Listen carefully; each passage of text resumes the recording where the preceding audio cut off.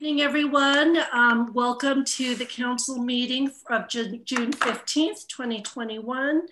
Um, we are about to begin um, and I will be asking our town clerk to do roll call. Before doing so, I do want to acknowledge that council member Ristow will not be in attendance tonight. Um, all council members take attendance at meetings very seriously. But um, Miss Ristow and her family are working through a family tragedy, and we just want her to know that all of us, her colleagues, as well as the town, um, has her family in our thoughts and our prayers. So, so with that, Miss Neis, if you could do official roll call. Thank you. Councilmember Hudes. Here. Councilmember Badame. Here. Vice Mayor Rennie. Here. Mayor and Chair Sayoc. Here. Uh, so we do have a quorum and our meeting is officially beginning at 7.02 p.m. Uh, before we met, we had a closed session and Mr. Schultz, if you could provide the report on our closed session. Yes, good evening. Prior to regular session, council met in closed session to discuss real property negotiations. No action was taken that requires reporting under the Brown Act. Thank you. And at this time, I will be asking my colleagues to share items of concern or interest that they have participated on on behalf of the town of Los Gatos on the various committees that they are serving on. And so I'll begin with Mr. Rennie, Vice Mayor Rennie. Thank you, Mayor. Um, first thing I would note is I received um, several public comments in support of our DEI efforts. So I want to would like to thank everyone that sent in their support for that. Um, on 6-2, um, I attended the Bay Area Air Quality Management um, special board meeting. Um, the only item on that agenda was the Rule 6.5, which is related to the particulate matter limits from the refineries' um, catalytic cracking units and whether we should go with a 0.02 limit or a 0.01 limit. Um, the board asked questions for about an hour on that day, and then we took public comment for six hours um, and run out of ran out of time and and continued the meeting. On uh, six nine, I attended the Silicon Valley Clean Energy Authority board. Um, one item to note was that we approved a resolution to su support the Beyond Gasoline initiative led by the Joint uh, Venture Silicon Valley. Um, the initiative's goal of cutting gasoline consumption in Silicon Valley by 50% by 2030 are, are align, well aligned with Silicon Valley Clean Energy's mission and efforts to support electric vehicle adoption. Um, on 6-3, I chaired the Silicon Valley Clean Energy's um, legislative committee. On 6-3, I also attended um, VTA um, did a presentation on their bike superhighway plans through the county. And on 6 7, um, I also attended the Silicon Valley Clean Energy Authority Risk Oversight Committee. Um, going back to 6 3, I also attended um, the VTA board meeting as an alternate observer. And on 6 8, I attended our uh, Community Health and Senior Services Commission um, where we finally wrapped up um, all the recommendations for that you'll see in tonight's agenda item on that subject. And on 614, um, I attended the Town Finance Committee with Councilmember Hudes. Thank you. Thank you, Vice Mayor. Councilmember Hudes. Uh, thank you. Pretty light assignment this last period. Um, let's see, on uh, June 9, I uh, participated in the Conceptual Development Advisory Committee. Um, and then on, uh, and then the Finance Commission on uh, the 14th. Thank you. And Councilmember Badame. Thank you. On June 2nd, I attended a meeting with our town manager, Laurel Prevetti, and Chief of Police, Peter Decena. On June 9th, I attended a meeting of the Conceptual Development Advisory Committee along with Councilmember Hudes. On June 11th, I toured the town offices and facilities with our town manager, Laurel Prevetti. On June 14th, I attended a meeting of the Finance Commission as an observer. June 15th, this afternoon, I met with the executive director of KCAT along with two KCAT board members And I've also corresponded with members of the community regarding agenda items and general concerns regarding town issues. Thank you. And, and items that I'd like to report on um, of concern. Uh, Cities Association of Santa Clara County did have our board meeting on the 10th. Um, at that time, we did invite uh, one of our attendees was Chief Ngo of Sunnyvale, who also happens to be, I believe, um, and I'm going to ask Chief Decena to correct me if his, the title is incorrect, but he's president of the Chiefs Association of Santa Clara County this year. Um, and they presented um, some areas where they felt that they could collaborate, they, the police chiefs with city managers and city councils. Um, there is a report that they are pulling together. One of them is upcoming training. What I'd like to do is agendize that with the town manager so that the council can weigh in on these suggestions that are being provided by the entire um, County Chiefs Association. And we'll have an opportunity to have that conversation and ask Chief Decena to also weigh in. Um, and in addition to that, as um, others have indicated, just correspondence with the town on a variety of subjects. So, and Ms. Prevetti, your manager report. Thank you and good evening, everyone. Um, the library is now open on both floors, so come visit us. Uh, bring your mask, please. On July 19th, we hope to invite uh, our patrons to also enjoy seating within the building. So right now, um, please enjoy your materials outside of the building, but we are open on both floors. In addition, our summer reading program is underway. It's called Reading Colors Your World. You can log into the town's uh, library website and log in your reading materials and uh, prizes, et cetera. And this is for all ages. In addition, uh, next Monday, the 21st, will be our last COVID pop-up testing site here in Los Gatos at the Adult Recreation Center. Reservations are recommended and appointments are now available. And that concludes our report. Thank you. Thank you. We now are going to move into our consent item. And uh, before I open that, I do want to highlight two areas. One is that under consent, under our new rules, any member of the public will have an opportunity to comment on any item on consent without necessarily pulling it. I also wanted to point out that we do have several items, 18 items on our consent agenda. These are normally placed on there, items of what is considered routine and administrative. There are a lot of contracts on there. That is because in July, there are no council public hearings. And so staff is trying to front load as much of uh, is necessary so that July will be a productive time for them as council takes their break. And so with that, uh, first I will look to our public to see if there are any members of the public that would like to comment on items one through 18 under consent. So. And I see several hands raised, and so I'll call each one over one at a time. First one is Kevin Arroyo.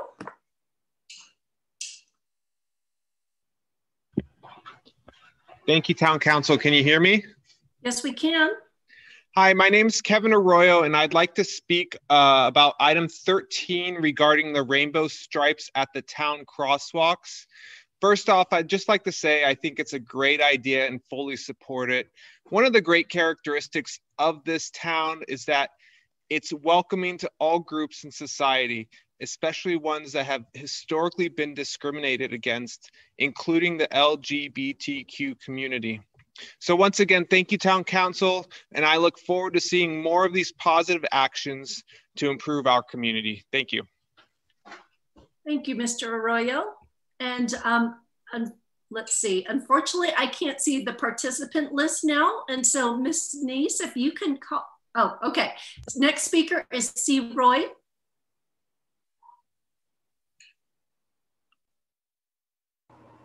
Can you hear me now? Yes, we can. Thank you, Town Council. I really, really appreciate this opportunity for public comment at the beginning. Uh, I am commenting on items number three and 13 on your agenda today. Please reject items three and 13 for several good reasons. First, both proposals bring division and strife into our community, the exact opposite effect of the pretense for which the council is proposing these items.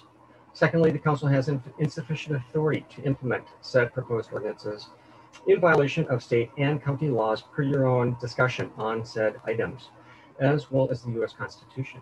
Thirdly, and finally, the risk to the town of Los Gatos for the proposed ordinances exceeds any benefits and risks of the valuable budget for any lawsuits issues. Specifically, item three is a proposal for the ordinance amending the Los Gatos Town Code to institute general neutral pronouns. And item 13 is to add rainbow stripes to crosswalks. Uh, regarding the crosswalk stripes, per your own admission, the design of the cross of the sidewalk stripes is regulated by state and federal traffic control standards, and that is very limiting in colors yellow and white.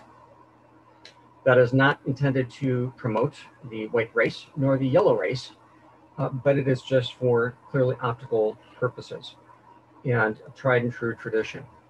You are now directing the staff to deviate from the standard. Again, these are your own words to deviate from the standard, and you want to provide, quote, liability relief uh, to the engineer and with the associated risk to the town remaining. So by your own admission, again, you're keeping that risk. The uh, intended, the proposed at reduced risk of visual impact is a non-issue as well. Bottom line is the Constitution is the supreme law of the land. And I want to bring the attention of the council with all due respect that you are incurring liability by violating the Equal Protection Clause at the end of Section 1 of the 14th Amendment. The clause is the equal protection. It is not promotion. You are using the precious tax dollars to promote one class over another. Furthermore, you're not even doing it equally. You are giving one class superior rights and attention and benefits. The equivalent would be to paint a sidewalk saying straight is superior. You're not doing that. The bottom line, it's not your job to promote one class over another. It's not your job to act as cultural and social engineer master in our culture. Everyone gets along just fine for many years. I have lived with people of different sexual orientation since I was a child. And it seems that with all your good intentions, you're actually creating more strife and risk for the city. Good day. And uh, if I could look at the participant list again.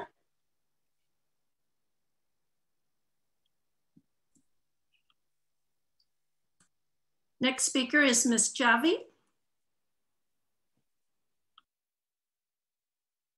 Good evening. I just want to make sure that I'm, um, this is an opportunity for me to speak to the public commentary part of the evening. I'm not speaking on a particular um, item.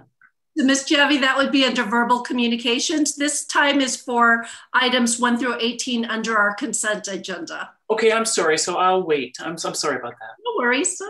And again, to those that are um, have their hand raised, this is to speak on items 1 through 18 on our consent agenda. Next speaker is Amy.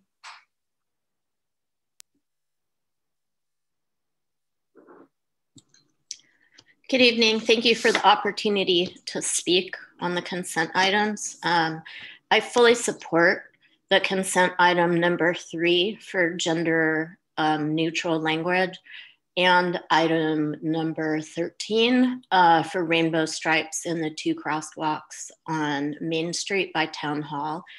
Uh, I believe that this uh, these items actually promote inclusion. They do not promote uh, strife.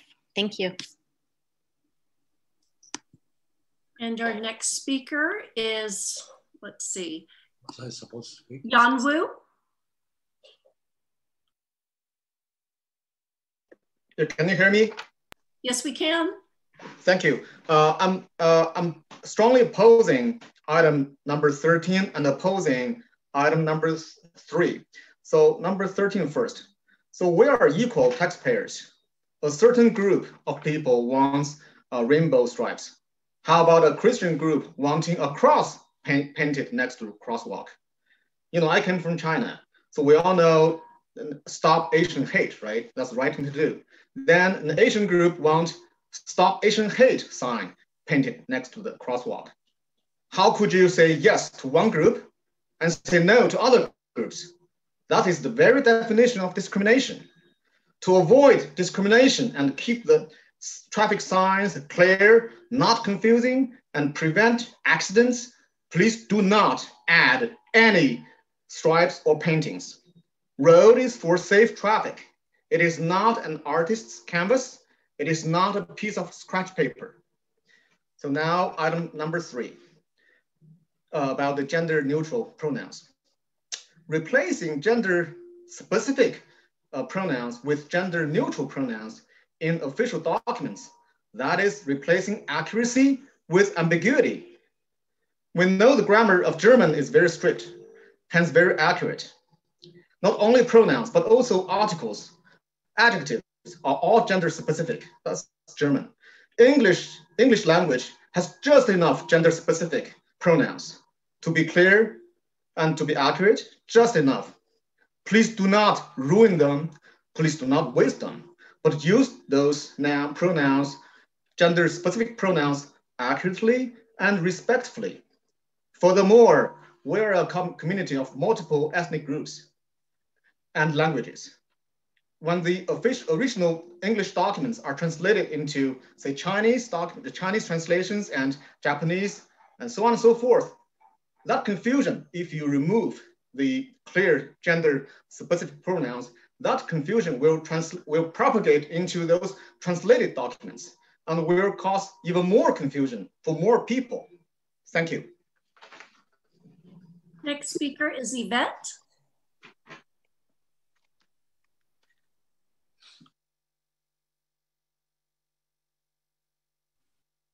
Hello, uh, can you hear me? Yes, we can. Thank you very much for this opportunity to speak. And uh, just like uh, Yan Wu said uh, before me, I strongly oppose items 3 and 13. And uh, first of all, addressing number three, uh, let's follow the science. There are only two genders. And I believe this supposed uh, gender, trying to include every gender, is really about breaking up the families, period. And then finally, uh, item number 13, I also agree that this is ridiculous to include these rainbow stripes because, yes, why not have a Christian flag? And why not have flags for everything else? And really, um, crosswalks are about safety. It's not a it's not some place to put some uh, push uh, some political point of view. So I strongly oppose both items three and 13, and I believe um, these are just a waste of taxpayers' money, which does not include the viewpoint of all taxpayers. Thank you very much. Our next speaker is Maureen Heath.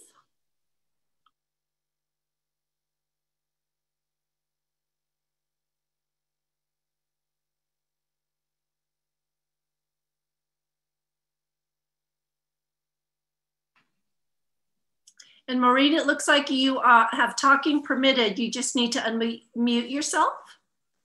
Thank you, Mayor. Um, I'm, I'm speaking to support items three and 13, uh, specifically the gender neutral pronouns and the rainbow stripes uh, crosswalk on Main Street. Thank you, Los Gatos, for embracing diversity and inclusion. Thank you, Mayor, for your heartfelt message on the Los Gatos website about diversity and inclusion. June is LGBTQ Pride Month. Nine cities in the county of Santa Clara have recognized Pride Month by either raising the rainbow flag or by lighting a building in rainbow colors. Both the city of San Jose and the city of Cupertino have rainbow crosswalks and have had no adverse consequences. Thank you. Our next speaker is Donnelly.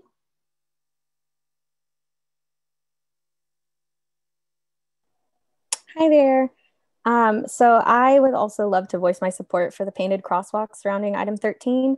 As we see many rainbow sidewalks in other towns and cities, they have been painted without any accidents as a result. And I think it would be a wonderful addition to the town's bland asphalt.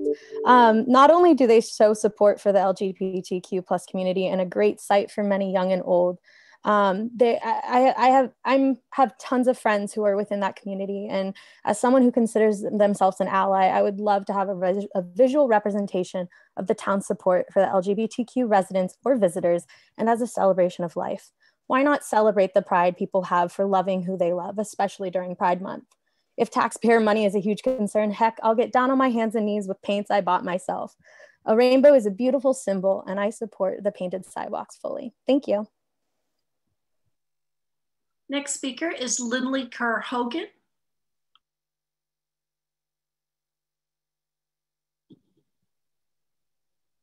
Hi there. Um, thank you for letting me speak again this evening. I want to express my disgust at the decisions being made by our elected town council. It is crystal clear that you have no intention of protecting the good residents, families, and churchgoers of Los Gatos.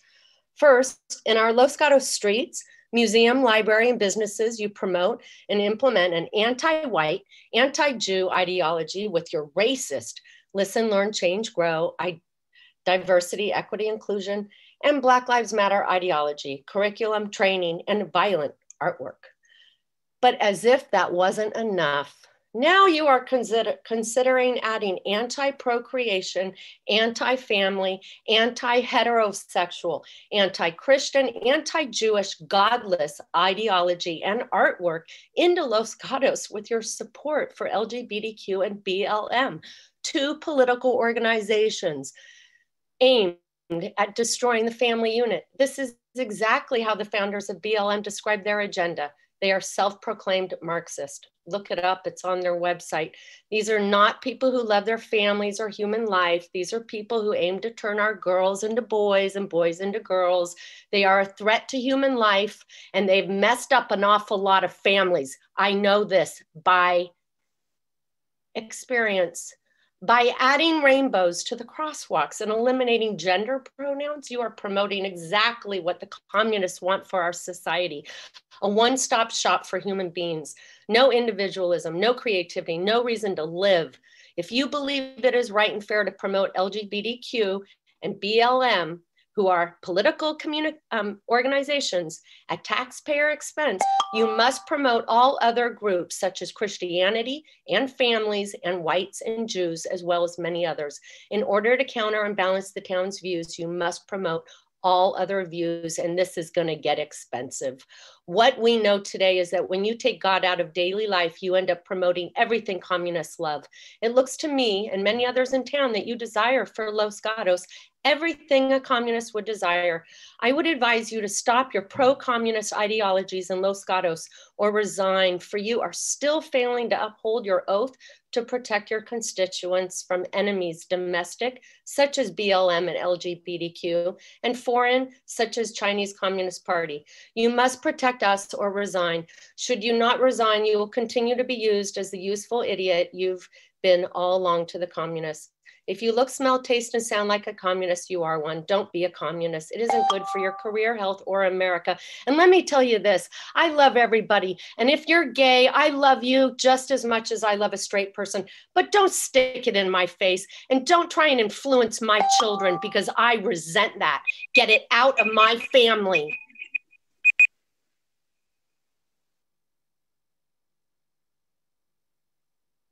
We could have Miss Javi. Hi there, is this public commentary? Oh, I'm sorry, Miss Javi. No, this is still um, our consent agenda. Oh, sorry. Carla, I'll Al- take, I'll take my hand down and put it back, back up later. Thanks. thank you. Carla Albright.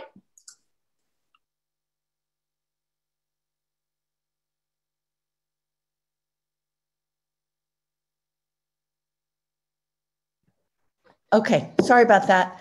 Um, thank you for taking my comment. I'm not very well prepared for this, but I do want to speak in favor of uh, consent items three and 13 and want to thank the council for their tireless work to do to better our town and to continue progressing and moving forward and being inclusive um, as a town. So I appreciate that. I think back on when I was a kid, the person who delivered the mail was a male man back then, as in many of the pronouns were you know, police policeman, etc. And we weren't considered communists when we shifted to postal carrier or the he, she's, he slash she that went into. So going gender neutral just makes sense so that we're inclusive. And it has nothing to do with an ideology. So I thank the town for moving forward on both um, concepts. And um, that's all. Next speaker is Joseph. Thank you very much for all you do. The, you, you're busy, busy council members and doing so many things every day of the week. So thank you for that. Um, regarding standards for the, the pronouns, please uphold high standards. If you do, do go genderless, do not use it. We are not dogs and sheep or rocks, and do not use they when referring to a singular uh, person. If you want to use he or she every time, go ahead. If you want to use he about half a time and she about half a time, that's great too. I hate seeing lower standards. I hate seeing our society devolving into a going worse and worse and worse. Do not, please, do not use the theys for singular. Do not use its for human beings, whatever you do. Regarding number 13, it does seem I love diversity. I love inclusion. I love festivals and celebrating everything. However, if this is not to code, we need to indemnify individuals for if and when someone gets hit to be sued. This doesn't seem like the proper place to put a pro LGBT message on, even if others have done it. Just because someone else has done it doesn't mean it's right for you. Your mommy probably told you that years ago. Uh, we should not be taking a large financial hit, taking large financial uh, downsides to promoting a particular sexuality uh, orientation. I love celebrations. But the way that, that this town, I believe, and so many others have gotten so focused on not representing the community, the C word in particular, it used to be called Christmas. I'm not Christian, but it's a wonderful holiday. And the way that we've worked so hard to get rid of wonderful parts parts of Americana, wonderful celebrations to destroy them, to promote only particular things that that sit, fit a particular social social ideology. As you may know, that is fascism. There's economic fascism and social fascism. Please avoid the fascism where you get in government and, and, institutions to align with each other to promote a particular agenda. That's not the place for things.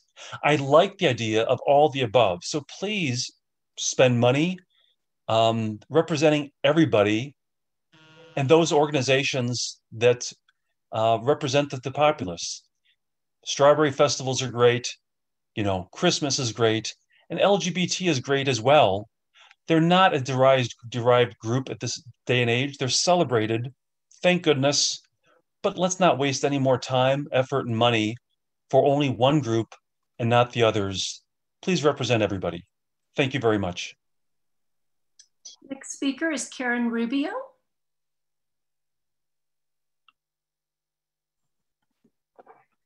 Hi there, can you hear me?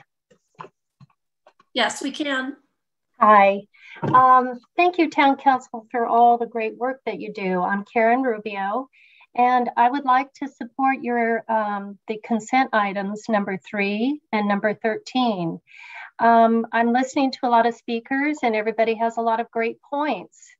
But what occurs to me is that there's not one group being celebrated above the other. We're just trying to include people who have been traditionally not only left out of society, um, but actually demonized and and um, killed for for their the person they love. Um, I have friends and family who are LGBTQ. I know that this population suffers from greater rates of depression and suicide, um, mostly because of the way they are treated in our society. And I think it's a wonderful gesture um, and a good start to include people like that. Um, you know, everybody's saying that we're celebrating one group above the other. No, we're just including people who have been left out. And there's a huge, there's a world of difference in that. So I just want to say thank you very much. And I do support those measures. Next speaker is Quincy.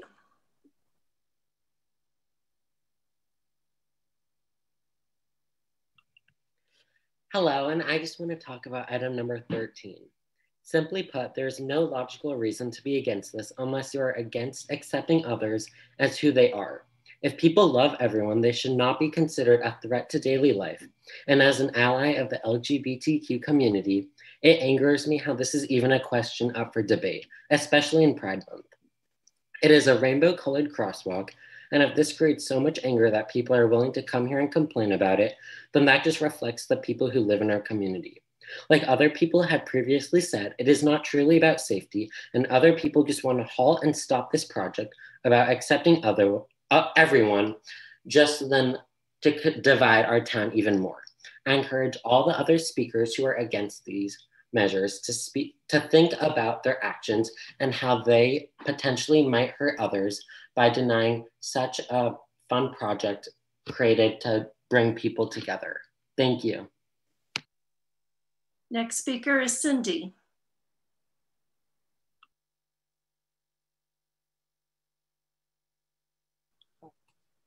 Hi, can you hear me? Yes, we can. Okay, I just want to say that I oppose, obviously oppose 3 and 13. Um, I feel that both of them are just a slap in the face to conservatives, Christians, families. I think you're causing more unnecessary frustration. Forced acceptance isn't acceptance, but we have always been able to coexist in our communities. Leaving conservatives out is not inclusion. We're demonized by the left every single day. I feel oppressed every single second. Where's my sidewalk painting? And Quincy, give up your multi-millionaire lifestyle for Black Lives Matter and then come talk to us. You don't know anything and you're way too young. You don't even know anything about life. You go around taking pictures of a privileged life and then come and talk to adults about how we're supposed to be. We're trying to work for you. It's your uh, safety that matters. Please direct your comments to the council rather to the other speakers. You know, it's all one and the same. You guys are all a team working to just exclude us, eliminate us, and remove us so that it can be the established elite and the poor. And it's sick. We know what you're doing. it's not as you guys know what's going on. It's happening around the country. You're all being exposed. You should really step down. You're a disgrace. And I'm really questioning your connections to the CCP, especially you, Marico. Have a good day. Next speaker is Christy Harrington.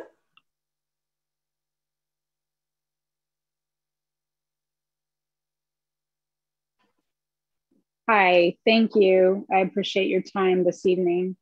Um, I am calling in about uh, item number 13 uh, with the uh, crosswalk, the pride um, stripe on the crosswalk. I just feel that um, it's a special interest for a special group. And uh, as much as we love everyone, um, this opens the door to basically all special interest groups that want their flag or their recognition, whether it's um, uh, the Audubon Society or uh, Boy Scouts. Uh, number one is my uh, concern for um, highlighting a special interest um, and excluding other folks. Um, and number two, we also have to be fiscally responsible um, every time we want to um, highlight a special interest, there's another $5,000 or $10,000. Um, and it, it, needs to be um, something that just covers uh, everyone, uh, the entire public. And um, how about a great American flag because we're all Americans. Um, I appreciate your time and um, would vote no for this uh, sidewalk initiative. Thank you. Next speaker is Sue-Ann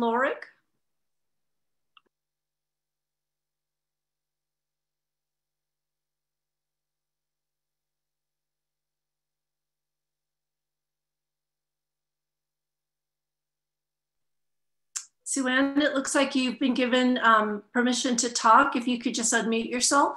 Okay, thank you. I'm sorry. Um, hi, I'm Sue-Ann Lorig, and I want to commend the council for the work they're doing on inclusivity. And I strongly support items three and 13. I did not come here um, tonight to knowing about these items on the consent agenda, but hearing the other speakers, I felt compelled to tell you that yes, I do support them. Um, members of the GLBTQ plus community um, have been ostracized, they've been killed for years. They are not a special interest, they have been excluded. Whereas cis people, straight, whatever you want to call it, have been just normalized. So we don't need, I'm, I'm straight, we don't need special attention. We don't need to be recognized. But people that have been ostracized, we need to treat them fairly and recognize their worth and their dignity and I think that these measures are, are wonderful. And as far as the pronouns, I think that gender neutral pronouns are wonderful. They is great. Um, there are other pronouns that they're coming up with. That there's an easy Google search to find them all. And uh, I know we don't want to call half he and half she. There are other ways to go about that. And if you need people to help paint the sidewalk a beautiful rainbow, count me in. I'll be there and I'll find volunteers. So, yes, let's include all, let's support all of this um, diversity and equity and inclusivity. Thank you. Next speaker is Kai.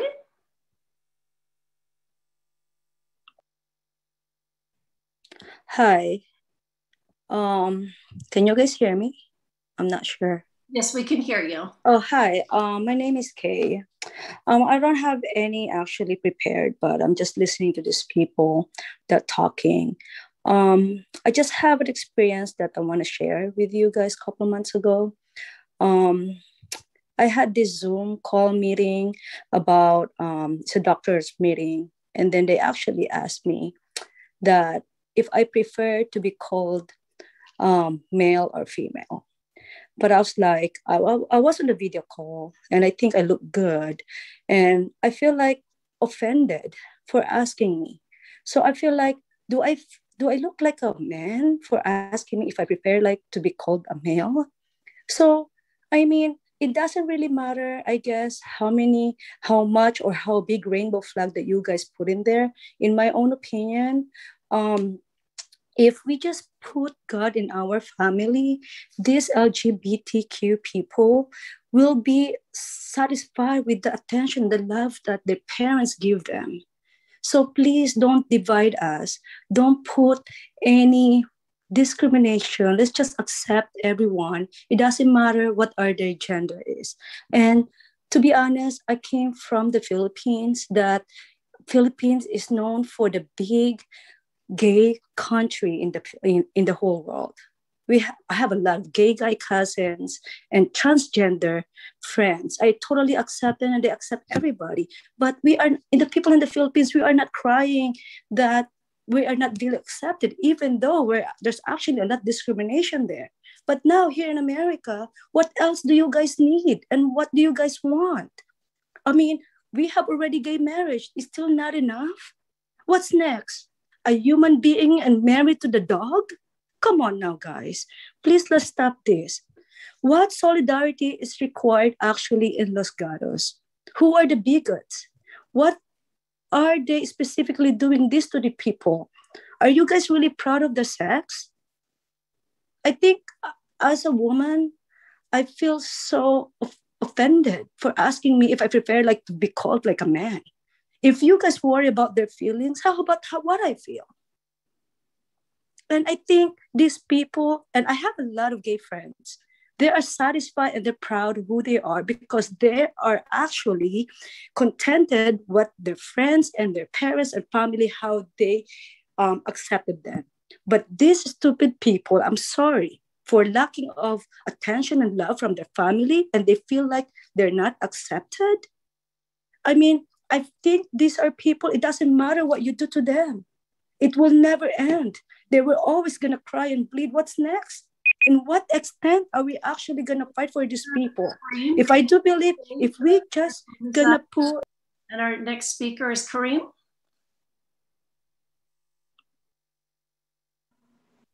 Uh, peace and blessings, everyone. Uh, thank you. My name is Kareem Sayed. I'm part of the Faith Council of, of Los Gatos, and I wanted to uh, speak on consent items three and 13, and um, or three and 10. I, I, hope I got the numbers right. Um, and I've been to various services throughout the community, from uh, the Jewish community to various Christian denominational churches. And what I can say is that we support these uh, initiatives because we recognize as a religious community that even if our religion in terms of our practices might not um, completely fall in line with some of these lifestyles.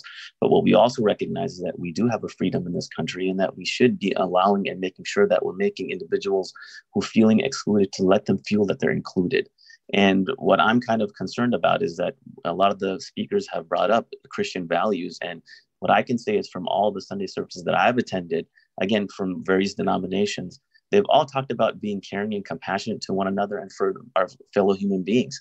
And to call on these values and then to state that these are the values that are the only ones that are representative and that they mean that we should be exclusive and also what it's you know what, what's concerning to me is again is the rhetoric and the type of you know tone that we're taking when we're discussing i don't believe that if we believe jesus may peace and blessing be upon him that he is a prophet or he he is somebody who is the lord that he advocated for us to go and start, you know, using foul language or being kind of, you know, rude and obnoxious when we're talking to one another. And so, while I again I understand that yes, as as conservative, and I'm considering myself a conservative, faith living individual, that yes, you know, um, there there are issues out there where we feel that we're our faiths are being attacked and that we're not allowed to experience them. For example the example that one of the speakers gave about uh, about christmas um, we need to understand that and also you know be able to live that experience and not feel that we're excluded. But on the same token it doesn't make sense that we're making these false equivalencies that you know just because we want to you know paint rainbow stripes in, in the crosswalk and and address you know gender neutrality for for individuals who are feeling that they are being excluded based on the type of gender uh, pronouns that we're using i mean it just doesn't make any sense. And that we are a community that is moving towards you know uh, being more inclusive. And yeah there's going to be some pain points because it's going to mean that we're going to be changing and making doing things a little bit differently. But in the end of the day i think we all as a majority of the community support you know all the efforts that the town council is making and thank you again for all your efforts next speaker is Wiggsy Sivertson.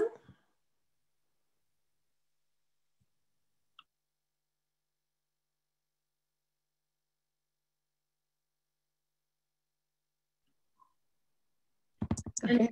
There you go. Yeah, I don't like this man, this way of doing things. Yeah, I want to say a few things. I have lived in Los Gatos since 1950. And one of the reasons I live here is because as a lesbian, I feel comfortable. It's disturbing to me to hear people talk about our community in ways that are so wrong and, and so misinformed. It's kind of sad, actually. Uh, but I really support putting the rainbow flag in the, in the crosswalks and changing the pronoun things. There are more if people read rather than just two genders. There actually are five different genders. We don't hear much about that, but uh, I just want to support our, our being able to live in a town that celebrates everybody because we want to have a flag on our crosswalk doesn't mean we don't want any other crosswalk to have a flag As far as I'm concerned, paint all the flags, flags on crosswalks of various groups, make us the inclusive group that we should be. Thank you. Okay. And I have no other hands raised for consent agenda. Again, this is for items 1 through 18. Seeing no other hands raised, I am going to close public testimony on consent. Um, council members, any member of council can pull an item from the consent agenda. And I look to council if there is anyone. Yes, Vice Mayor Rennie. I'd like to comment on item six, but I don't need to pull it when you'd like me to comment. Um, you may comment as well. And so just want to go ahead, Vice Mayor. Thank you. Um, I, I, realize item three and 13 are very important for many people, but I wanted to draw attention to item six, which is also a very important item um, about homeless. It, it, at the time of the report, there's 10,000 homeless in the county, and only about 20% of those are, ho- are housed with some sort of supportive housing. Um, the other 80% are out on the street. Um, and a, a, couple other things in the report that are interesting to note in the time frame from 2000 to 2015 the 10th percentile in other words the poorest people um, their income declined 12% so they got poorer over that period of time um, and if you think about how much housing is available to the very poor the 0 to 50% ami there's only enough housing to house 34% of them, um, that housing that is at that rental rate in the county. And at the zero to 80%, there's only 46%. Um, another important thing to note in the report is for every homeless family or individual that is connected to, to housing, two to three more are experiencing homelessness. Um, so if you think about this, that means that this, if this trend continues, in the next five years, we could have 20,000 more homeless in Los Gatos, or not in Los Gatos, in the county. Um, so I'm happy that Los Gatos would um, support the county's plan um, 2025 targets um, to address these issues. Thank you. Thank you, Vice Mayor and Councilmember Hudes. Uh, thank you. I had really a procedural question since we've adopted this new format. Um, if um, I were to have a question of the town attorney on any of these items, would that require pulling the items from the consent calendar? And Mr. Schultz, if you could, um, because this is new, if you could help guide us. So or you, you could ask those brief questions now, so long as it's not going to take a long discussion. But if you have just brief questions, you could ask those now. Okay. So if I may, uh, I wonder, Mr. Schultz, if uh, you have any uh, comment on the legality of items three and 13 um, beyond what's in the staff report. So as far as three, many, many cities and towns are going to general neutral. Um, our municipal code company that, that does our code is the company that will be going through the entire code. Right now, almost all the references are he, so they will making those general neutral and there's no legality of whether you make those changes or not. Um, as far as 13 goes, there are two ways that the town has design immunity under the California code. One is if a registered professional engineer signs off on a uh, design that has been approved, the design has been approved by standards. And in this case, our design professional could not do that. The other way you have design immunity is if it if the plan or design is approved by the legislative body. And that's why it's in front of you our professional engineers could not sign off on this because it's not a uh, approved standard, but the council certainly can, and we would have design immunity if there was an accident. That doesn't mean we wouldn't be sued if there was an accident in the intersection, but that's going to happen regardless of whether the color is or not. But we do have defenses and design immunity because we are bringing in front of you for approval. Thank you. Any further questions? Yes, Councilmember Badame. A question uh, also probably for the town attorney um, regarding item number 13. Are the markings considered permanent or temporary for the crosswalk? I think that's a question more for um, uh, PPW. Good evening, Matt Morley, Director of Parks and Public Works. Um, so mar markings are, are temporary in nature, but we are going with uh, a long-term temporary marking. So these are uh, meant to be there until we resurface the roadway at the, at the least, at which point that they would be uh, removed and um, we would redesign the roadway at that time. So what would be the longevity? Um, based on the uh, age of that street, I'm going to say uh, seven to 10 years, something along that line. Thank you. Any other questions? Okay, and so uh, I ask the council um, if anyone li would like to pull an item. Seeing no one pull an item, would anyone like to make a motion for approval? Councilmember Badame? I don't see anyone pulling an item and I don't intend to. So I move to approve the consent items 1 through 18. And may I have a second? Second. Okay, so I'll call the question. Again, this is regarding consent. Councilmember Badame? Aye. Councilmember Hudes? Aye. Vice Mayor Rennie? Aye. I also vote aye, and the consent agenda passes unanimously. We now move to verbal communication, where anyone from the public has an opportunity to speak on items that are not on the agenda. We have four remaining items on our agenda. And so again, you'll have three minutes. You'll have an opportunity to speak. For the benefit of the community, I do want to remind that we ask everyone to follow our meeting guidelines and to treat everyone with respect and dignity. We are giving everyone an opportunity to speak tonight, and we ask that you limit your issues and not to personalities. And we're giving everyone that voice to be respectful. And so with that, um, I will call on Eden Berg.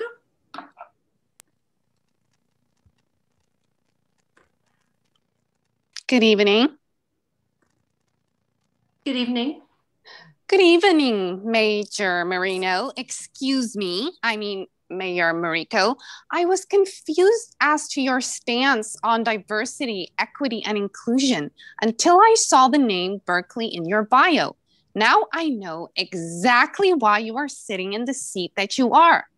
I can't believe I have to tell a Berkeley graduate that critical race theory and diversity, equity, and inclusion is exactly the same thing, unless she is directly connected to terrorist, terrorist organizations like Black Lives Matter, which, by the way, she is executive director of CASSY, which is directly responsible for installing DEI in schools all over the Bay Area the same DEI that has been banned by many states.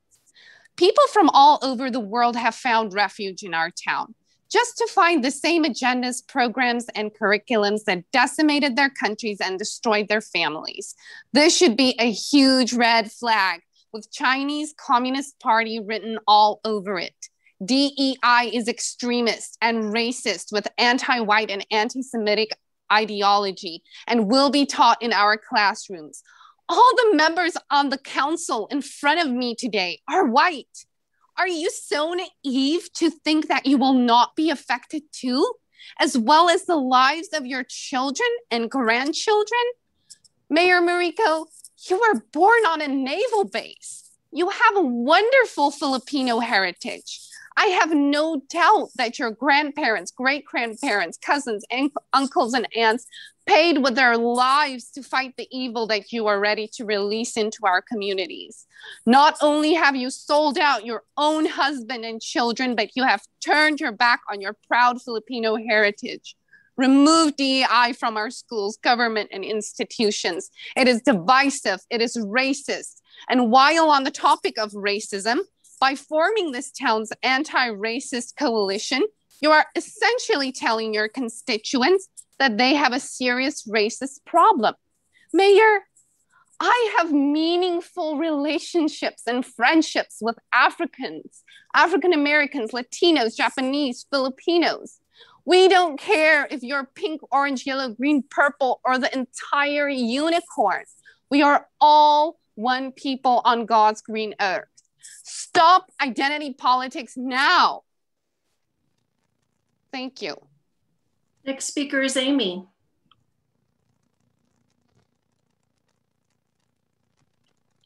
Uh, thank you for the opportunity to speak again.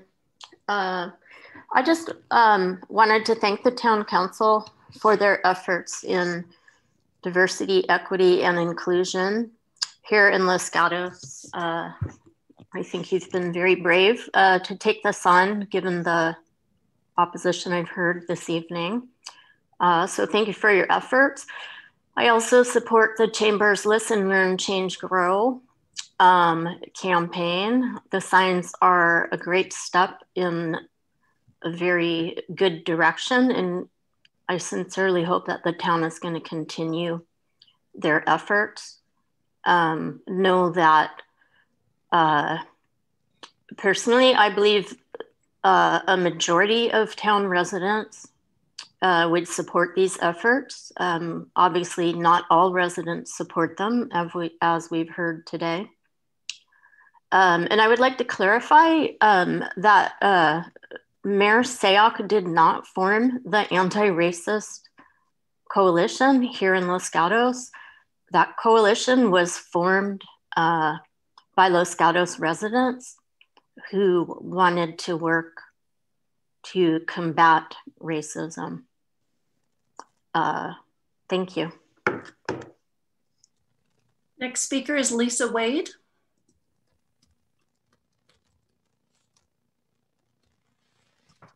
Hi, my name is Lisa Wade, and I just wanted to thank the town so much for your um, diversity, equity, and inclusion efforts. These are really important efforts, and I feel that there are many, many residents who feel the same way. They're not all here speaking tonight, and many people um, wanted to speak, but we didn't want to keep you up all night. So just know that you have the support of many, many residents. We're very grateful for your work.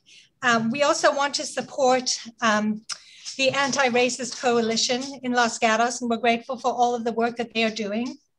And we are also grateful for the work of the Chamber of Commerce and um, their efforts. So just know that you do have a lot of support from, from residents for your diversity, equity, and inclusion programs. Thank you. Next speaker is Peter Noymer.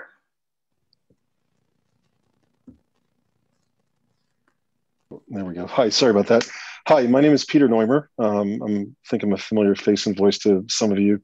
Uh, I've been a Los Gatos resident for uh, 18 years, and I've served on the Board of Trustees for the Los Gatos Union School District since 2014. So, in the middle of my second term. Um, I probably don't tune into town council meetings as often as I should have, should, um, but I did happen to do so last uh, two weeks ago, Tuesday, June 1st, uh, when the town council was uh, reappointing youth commissioners. I'm fortunate to have my younger son participate in that activity, and I appreciate it, uh, the council for keeping that going over the years and through pandemic.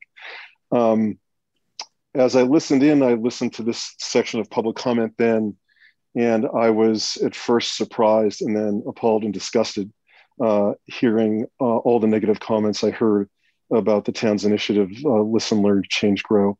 Um, for a couple reasons, and I'll, I'll, sort of spell those out here. First off, um, I find it uh, inaccurate. It is inaccurate, and I find it extremely lazy for people to take what the town is doing for diversity and inclusiveness and just simply label it critical race theory and then use that as a, as a way to bash it.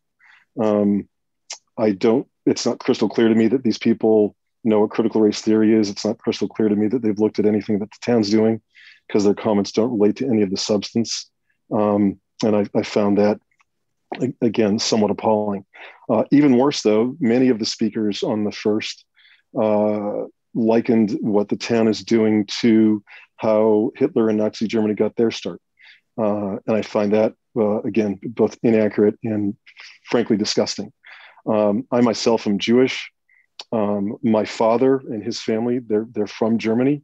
He immigrated to the US as a young child in the 1930s for obvious reasons. And I can speak from, you know, personal knowledge of my family history, of things I've studied over the years, and, and museums and such that I visited, that what we're doing now is absolutely not uh, the way uh, things got started in Nazi Germany. In fact, it's somewhat ironic that um, the, the, the more, more direct comparison with Germany is what Germany did in the aftermath of World War II to try to make amends for the atrocities. Um, they did exactly what we're trying to do now, which is to openly confront and acknowledge issues from the past and address them in a way that's equitable for everybody. Um, uh, I, am fortunate. I and my siblings and my and my father, before he passed away, had maintained ties to a community in Germany where our grandfather was born, and my siblings and I sit on the volunteer board of an organization that maintains and operates a former synagogue uh, as a museum to the heritage of the Jewish people in the area. Um, so I want to commend the town council for the work that they're doing now and in the future. And uh, I hope it continues as successfully as we expect it to. Thank you. Next speaker is Quincy.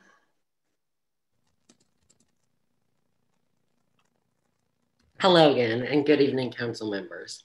I'm here tonight to talk about some of the remarks I have heard during past meetings. I have heard a lot of people come forward during verbal communications and talk about their beliefs that the town of Los Gatos is pushing racist views, which I believe to not be true. I have also heard people compare Los Gatos to Nazis and other horrible groups. This is only this is not only extremely insensitive to many throughout our town, but I believe again it is just not true. Being able to come tonight and express our concerns is a privilege that many across the world do not have, especially in socialist countries that we are often compared to. It is sad that people in this town still believe that we are a communist dictatorship, while many are using their First Amendment rights by coming tonight and speaking at this meeting. I would also like to comment about the remarks made by a lot of people about the listen, learn, change, grow signs placed around downtown. People have compared them to the KKK, and these signs were put up for the sole purpose of addressing racial justice and anti discrimination. I encourage everyone making these comparisons to do more research into what the Ku Klux Klan has actually done to our country. I would also like to ask anyone speaking during tonight's meeting or any future meetings to not use these insensitive and heartless comparisons to cruel and dehumanizing groups when their political beliefs are not aligned with something going on around town. I, along with the youth of the town, would like to thank the council for all that they have done. Calling the town socialists and accusing them of pushing propaganda for educating their citizens about racial problems going on in our country is not right. And like I mentioned before, comparing our elected government to evil dictatorships will help no one and only divide us more. Thank you. Next speaker, Sasha.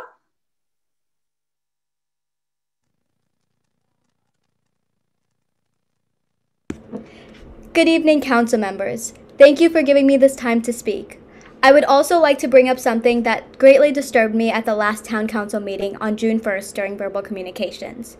Someone had brought up that the council members are pushing the vaccine and quote unquote went on to say that none of the council members have done proper research and promoting false information.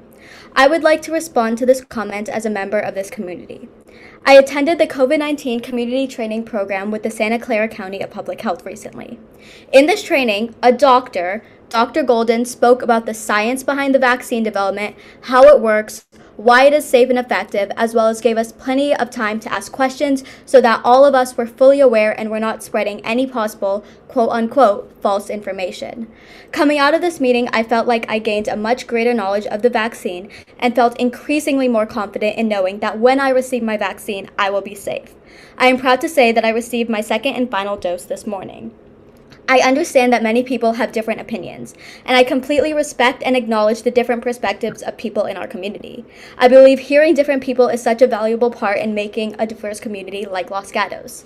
However, I would also like to mention that it is unfair to assume that people are not doing their due diligence to learn information, and saying council members and other professionals who have spoken up about it should be quote unquote ashamed of themselves. I fully recommend having conversations with doctors and health professionals, like many people across our city and county have done, and then you can make a decision for yourself.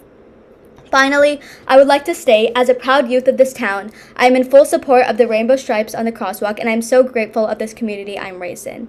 Additionally, for the concern of the speaker who previously mentioned CASSY, as someone who has used and knows many people who use CASSY, it is an extremely beneficial service for so many people at my school. I would like to greatly thank the Council for all their support and inclusivity for understanding all members of the people in this town. Thank you. Next speaker, Sue Ann Lorig.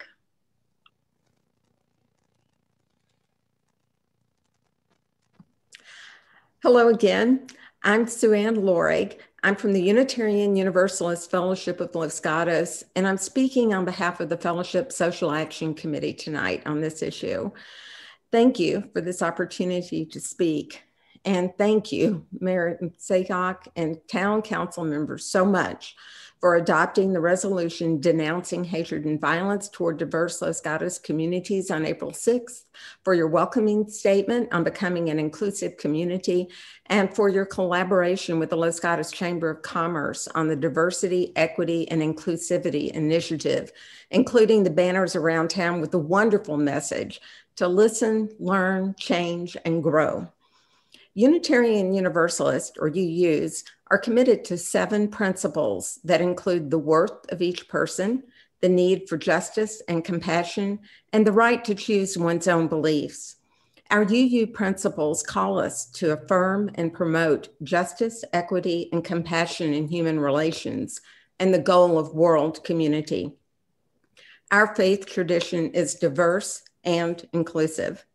In 1997, recognizing that racism and its effects, including economic injustice, are embedded in all social institutions as well as in ourselves and will not be eradicated without deliberate engagement in analysis and action, the Unitarian Universalist Association, the central organization for the UU religious movement in the US, passed its own anti racism resolution. Resolution. It's long and beautiful, and you're welcome to read it at uua.org. Our seventh principle calls for respect for the interdependent web of all existence of which we're a part. In other words, we're all interconnected. There are ripple effects from all our actions, whether they be from love or hate, or with kindness or brutality. The town's actions on anti racism, of which I'm speaking tonight, are clearly from a place of loving kindness. I affirm support for the town's actions on anti racism. I ask this May each person, town, and entity resolve to be anti racist and to speak up for anti racism. May we all recognize our interconnectedness and be filled with loving kindness. May we all be safe and protected. May we all be healthy and well in all aspects of our beings. May we go forth and be the change we wish to see. Thank you. Speaker is Alicia Cinemasterio. Hello, I called into the City Council meeting because I want to thank the Council and the Chamber of Commerce for having the courage to initiate necessary but difficult conversations within our community that is desperately needed for growth and development. The Listen, Learn, Change, Grow campaign did not cause division in Los Gatos because the Listen, Learn, Change, Grow campaign was made because of existing division in Los Gatos. What people don't realize is that they're calling in to protest the banners is them unknowingly participating in and what the Listen, Learn, Change, Grow campaign was made to do. It is bringing to light discussions that need to be had for growth and understanding. I am grateful to City Council for taking this seriously and discussing it. It is because of this campaign that it is now clearer more than ever that Los Gatos has some serious healing to do. The beginning steps for that healing is communication. And so I applaud the Chamber of Commerce for making history in Los Gatos for gracefully tackling the difficult and sensitive issue of racism. Please pay attention to what has been happening to people in our community that have decided to openly support diversity and stand in solidarity with people of color in this community. They have become targets. That backlash that you see them receive is the same hate that people of color have been telling you about. Now you see the harassment tactics, the intimidation tactics. Now do you see?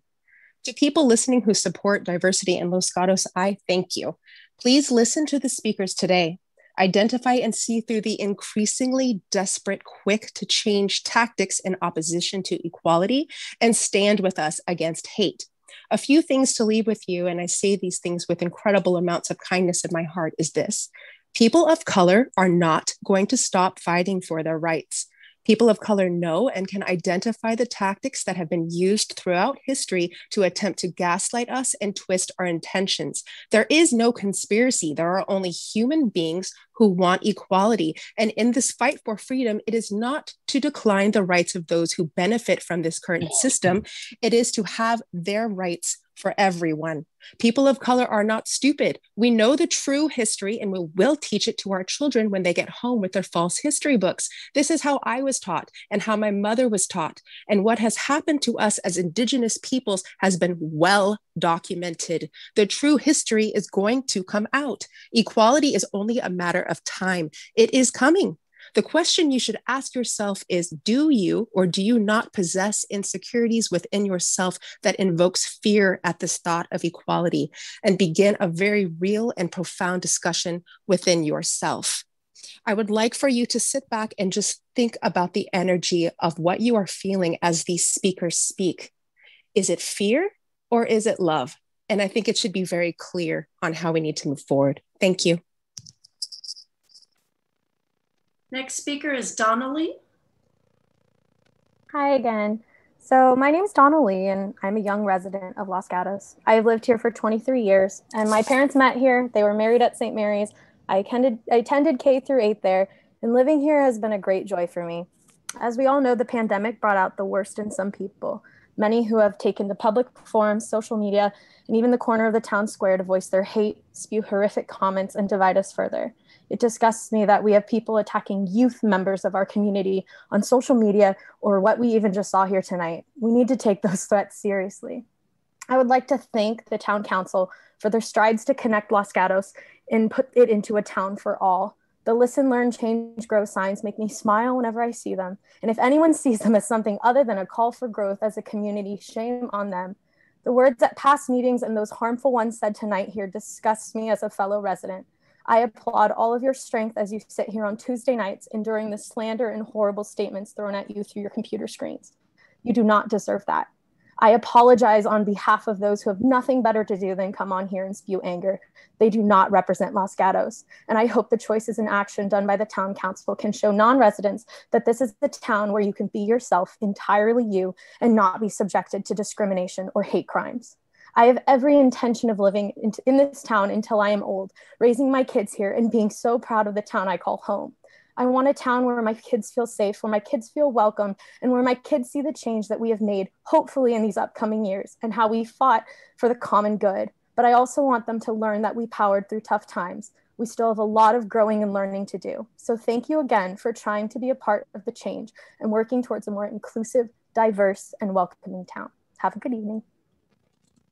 Next speaker is Ms. Javi.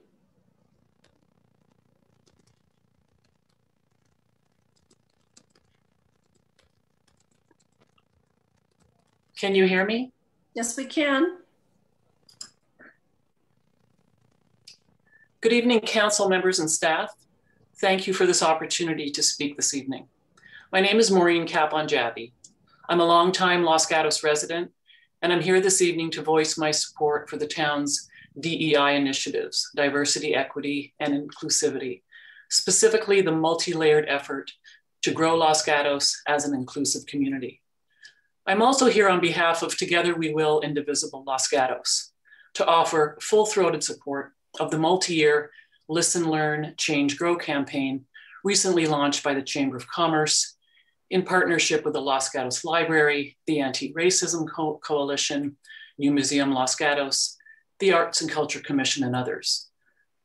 I'm an active member of TWW Los Gatos, which is comprised of over 350 individuals, mostly local folks from the South Bay and many from across the Bay Area and the state. We are an inclusive network of global citizens and everyday activists, united in our enduring commitment to support efforts that strengthen our democracy. Our mission perfectly aligns with the town's DEI goals and the Listen, Learn, Change, Grow campaign. We look forward to collaborating with the town, LLCG, and the growing list of community partners. You know, over the past few weeks, I've been listening to the public commentary portion of council meetings. I've been listening to the shameful and misguided pushback against the democracy strengthening efforts being made in my town pushback from individuals who are clearly terrified that the world is changing and their place in it is becoming less relevant and certainly less welcomed. And by listening, I'm learning that these folks live lives filled with hatred, intolerance, and fear. Personal growth, intellectual growth are clearly not their priorities. But change is coming, good change and necessary change. I am thankful to my town's leaders, the TWW community, and my friends and family for encouraging and supporting my own efforts to listen, learn, change, and grow, to lift all boats and create a world where diversity, equity, and inclusivity form the new foundation upon which we'll all live and thrive. Si se puede. Thank you for listening. Next speaker is Karen Rubio.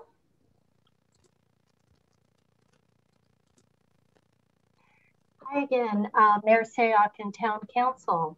Um, my name is Karen Rubio, and I'm speaking now as a member of Plant Based Advocates.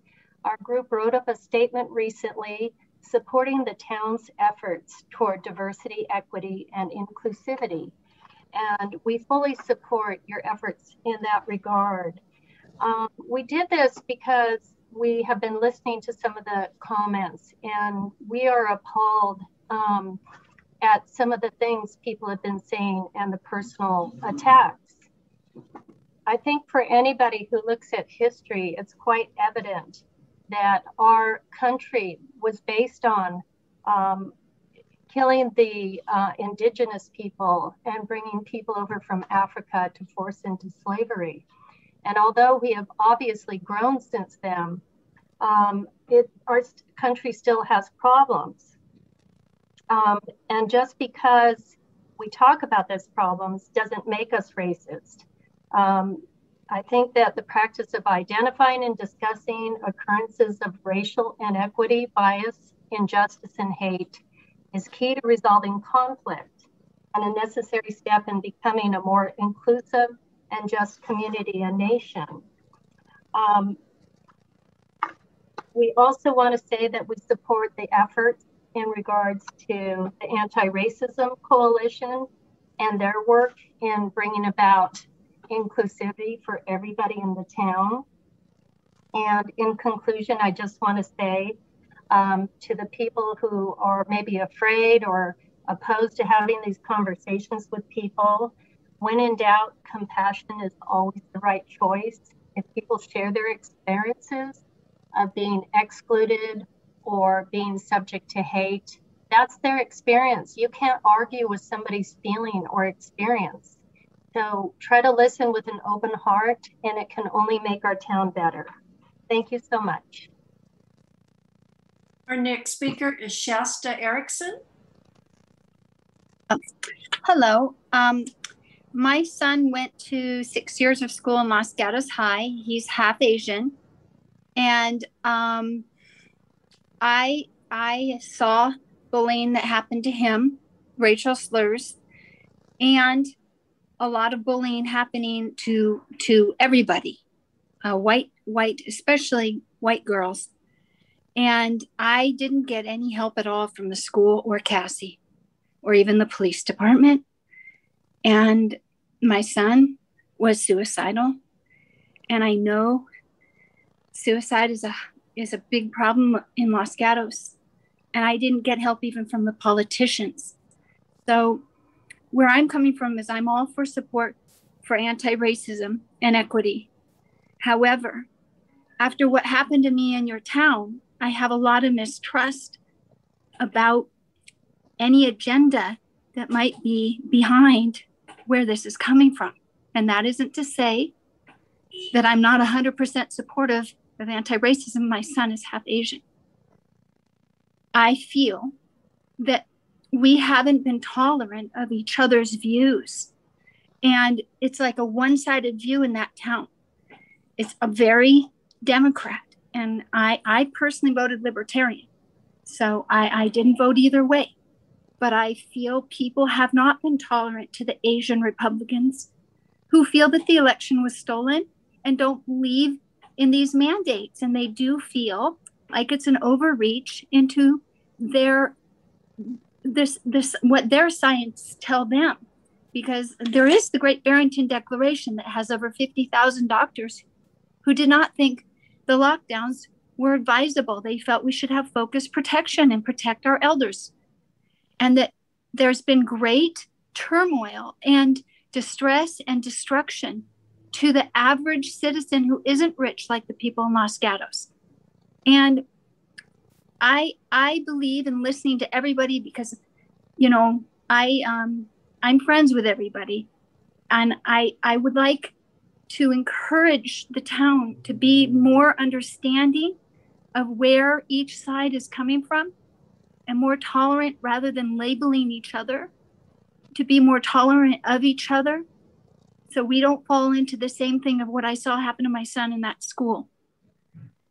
And also be be aware of false flags because there have been a lot of potential false flags and we can't get distracted by one agenda. I'm 100% for anti-racism. So if it's if it's not going to turn people kids against each other i'm all for it. I just wanted to give my viewpoint. Thank you. Thank you and um, as we have with our policies and procedures, we limit our verbal communications to the first 30 minutes so that we can get to the other items that are on our public hearing. For all those that have their hands raised, we will continue verbal communications at the end of the meeting. And those that have not had an opportunity to speak on an item that is not on the agenda will have an opportunity to do so. And again, thank you for all those that spoke um, and thank you for listening. And um, thank you for listening. We now move to our public hearing. We're moving to item number 19, which is to authorize the following actions for landscape and lighting assessment districts. So, welcome, Stephanie. Good evening, Mayor, Vice Mayor, and Council members. Uh, tonight, um, I am presenting the report for the landscape and lighting. On an annual basis, the town conducts a process for property assessments for its six landscape and lighting assessment district benefit zones. And the primary purpose of the districts is to provide for the ongoing maintenance and care of landscape areas that especially benefit the properties within each of these zones. Uh, the item before you is the final report for this year uh, with the required public hearing and a recommended action of adopting these six resolutions which will authorize the collection of set assessments for the fiscal year 2021 slash 22. No protests or any written communication has been received by staff. And that concludes my report. I'm happy to answer any questions. Thank you, Ms. Hockemeyer. Council members, any questions? I see none. So I will go to our public. And again, our public will have three minutes uh, to speak to this item, which is lighting and landscape assessments for districts one and two. And so I see two hands raised. First speaker is Carrie.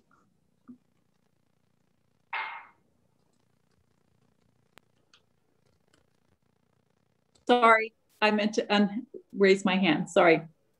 No worries. Next speaker, Doug Case.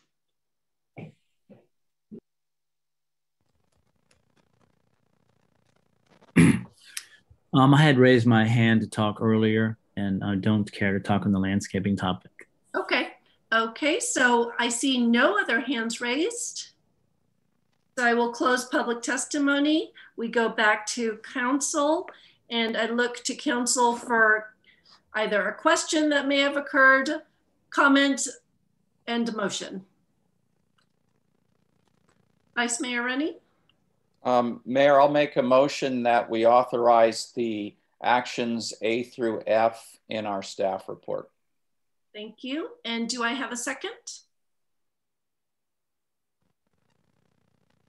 Councilmember Badame? Second. Thank you. Any comments to the motion? Seeing none, let's call it. Councilmember Badame? Aye. Councilmember Hudes? Aye. Vice Mayor Rennie? Aye. I also vote aye. And um, the motion passes unanimously. Thank you. Thank you, Ms. Hockemeyer. We now move to item 20. If you could just give me a quick minute. and that is to receive the Community Health and Senior Services Report on Senior Service Provision and Assessment Recommendations. So,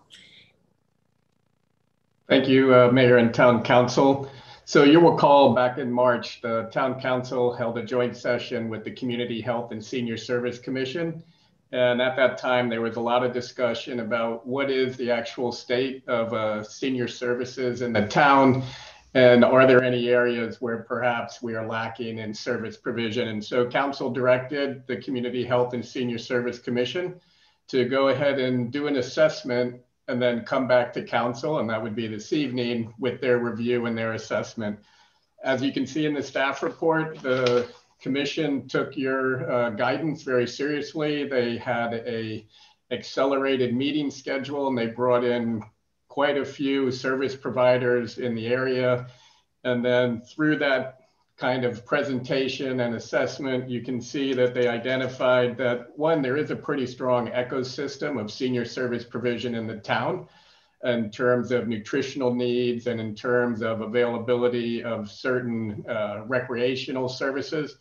But they did, as they dug deeper, start to also see that when you look at uh, our town compared to some of our peers, there are areas where there could probably be improvements in service. And then this culminated with a final table that starts on page five of the staff report where they broke down certain areas, they identified the issue, and then I, they identified potential short-term proposals and long-term proposals. I will note that while the commission was in pretty strong agreement of kind of the high level areas where they thought they could be improvement. They did not necessarily come forward with a singular recommendation for each one of those issues. And so that's why the table is formatted the way it is.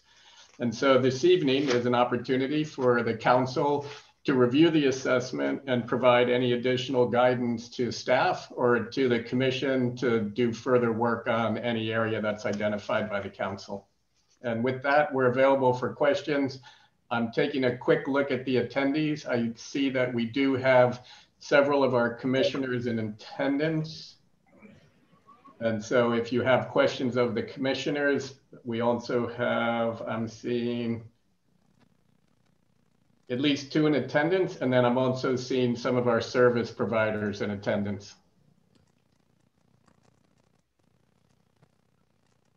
Thank you very much. So what I'd like to do is I'd like to see first, uh, Vice Mayor Rennie, thank you for um, agreeing to serve as a, as a delegate, as a liaison uh, to the commission. And um, I wanted to see if council members had any initial questions before I open to public testimony. Okay, seeing none, I am going to ask um, Tom Crow of our public and, and again, remind anyone in the public who would like to speak on uh, the Senior Services Commission and the work that has been done, please, now is your time. And Mr. Picraux, welcome. Um, good evening. Thank you. And uh, thank you for hearing me uh, and for your work with the commission on uh, uh doing a more thorough analysis of senior uh, issues. Uh, they say you can look at an entity's budget and see its uh, priorities. And the Los Gatos' spending in the area of senior uh, needs have been rather minimal in uh, the last decade from my perspective. And I think it's time to change your priorities uh, or to increase your priorities for our growing senior population. So I just like to encourage you uh, that while we recognize financial resources are limited uh, and you can't solve a problem overnight, there might be things you could do. Uh, and so why not do some modest investments in existing facilities? Why not hold a town workshop uh, on senior issues and uh, help to develop a community path forward for our older adults?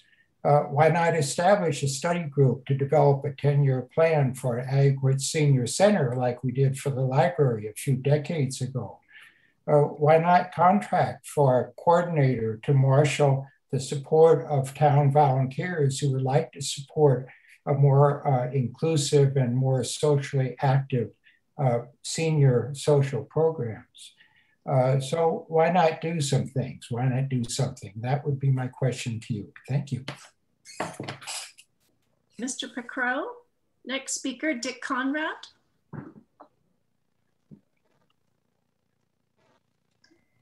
Can you hear me? Yes, we can. Welcome. Thank you. So the, uh, the some of the key things that are where we have tremendous gaps is is in our membership, and like we have had a we have 83 right now. We've had highs in the several hundreds, whereas Saratoga with a different business model has 2,000, and and this is just a, a, serious deficiency. The other thing that in, in the in the presentations, I mean, we have a tremendous amount of, of service providers in the community that are doing very good work. We have service clubs that really have been underutilized to, to help in the senior services area. And then we have many seniors that connect to, that would be happy to volunteer in the seniors to seniors program. And what we need is a centralized uh, facility or organization that connects all the dots in the community because all the dots are there. And that that's the issue is how do we do that? And of course, there were several uh, uh, recommendations. Saratoga uh, has an outstanding program that we could uh, partner with if that's possible. Uh, we could hire someone like all of our other sister cities have. And uh, I might add that during the pandemic, uh, they kept their staff, whereas unfortunately L- LGS was, was losing money and they finance all of our senior 55 plus activities. So we were caught a little short there. And we also have proposals to increase funding to uh, uh, LGS. But we have to pick one of these uh, avenues and we have to increase funding to get to where we want to go. Thank you. Thank you. Next speaker, Jeffrey Blum. I can you hear me? Yes, we can. Welcome. Okay, thank you. So as you all know, I'm on the uh, Community Health and Senior Services Commission, but I'm speaking on my own behalf, not on behalf of the commission. Um, I've given a lot of thought to uh, this issue, and um, of course, I was involved in the work done to come up with the recommendations my feeling is that there's no question uh, more money needs to be put forward by the town to improve uh, the services that can be provided to seniors uh, in the community. And as many people have pointed out, we have a very large senior uh, population uh, and it's only growing. So the issue is only going to get worse or uh, more difficult to deal with. Uh, my concern is that we do not yet have enough information. It doesn't make sense to me to just uh, offer more money to, uh, for example, to LGS Rec. I saw their latest report and they had uh, a number of items mentioned where if you give us this much money, we can do this, but there's no meat on the bones. And so I agree with uh, Dick Conrad that there's much more work that needs to be done. Um, you need a detailed budget from LGS. REC, for example, need to look into other options. For example, I, I made a suggestion of rather than uh, improving or renovating the uh, rec center, that in the short term, they'll be partnering with uh, some of the clubs in the area. For example, the club that is almost completed. Um, so there's much work to, more work to be done. Um, the idea of having a, uh, I think, once the town council receives a much more detailed budget from LGS Rec, uh, then that component uh, can be looked at in a uh, study group or whatever. Um, but, and, and I recognize that that is just one component of uh, address in addressing the needs of seniors, but that would be a good start. And then long term, there, there's also a, a, an urgent need to look into the option of building a new center. Uh, and so I, again, there's a lot of work that needs to be done. And I hope that uh, um, this is recognized. What we've provided as a commission uh, is only a, a first step. Thank you. Thank you, Mr. Blum. Ann Peterson? Can you hear me? Yes, we can. Welcome. Okay, thank you. Um, I'm the uh, executive director of Live Oak Adult Day Service. Uh, Live Oak is a nonprofit, community based adult daycare that serves frail seniors who can't live independently, and we serve their caregivers. We're proud to say that our organization started in Los Gatos in 1983 and has served Los Gatos seniors ever since. As one of the senior service providers in Los Gatos, I'd like to offer our support to the idea that a lively senior center can become the hub for our community's care for its seniors. I feel the town could be more focused on seniors and their needs, and to that end, I hope the town considers and approves some sort of improvements on the current senior center. Thank you. You. Next speaker, Lee Fago. Good evening, Madam Mayor and council members. Uh, this is a, a, very critical topic for our town, as was pointed out with the demographics of a much more mature population aging in place and being a larger part of our, our population. Um, much of the work that is currently being provided to our senior citizens is being done by volunteers who are doing a lot of the of the work to help our senior citizens and their care providers. Um, that uh, the uh, there are more than 20 organizations in, uh, in, town who are doing a lot of the work that that is helping them. Uh, a lot of it is in collaboration as well with Monte Sereno and, and uh, Saratoga. Our local merchants have been very helpful in providing food services and working with the county as well to, to bring in some of those resources.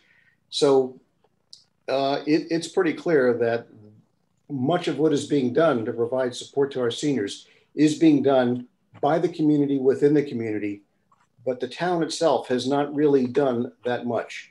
The workshop brought out some of these issues, and I think it, it's laid some groundwork on what else can be done. True, no specific suggestions were, were submitted, and I think that's because there's still more work that needs to be done in terms of research and finding ways of collaborating with other organizations. I would suggest another workshop to really do that, to take it to the next step.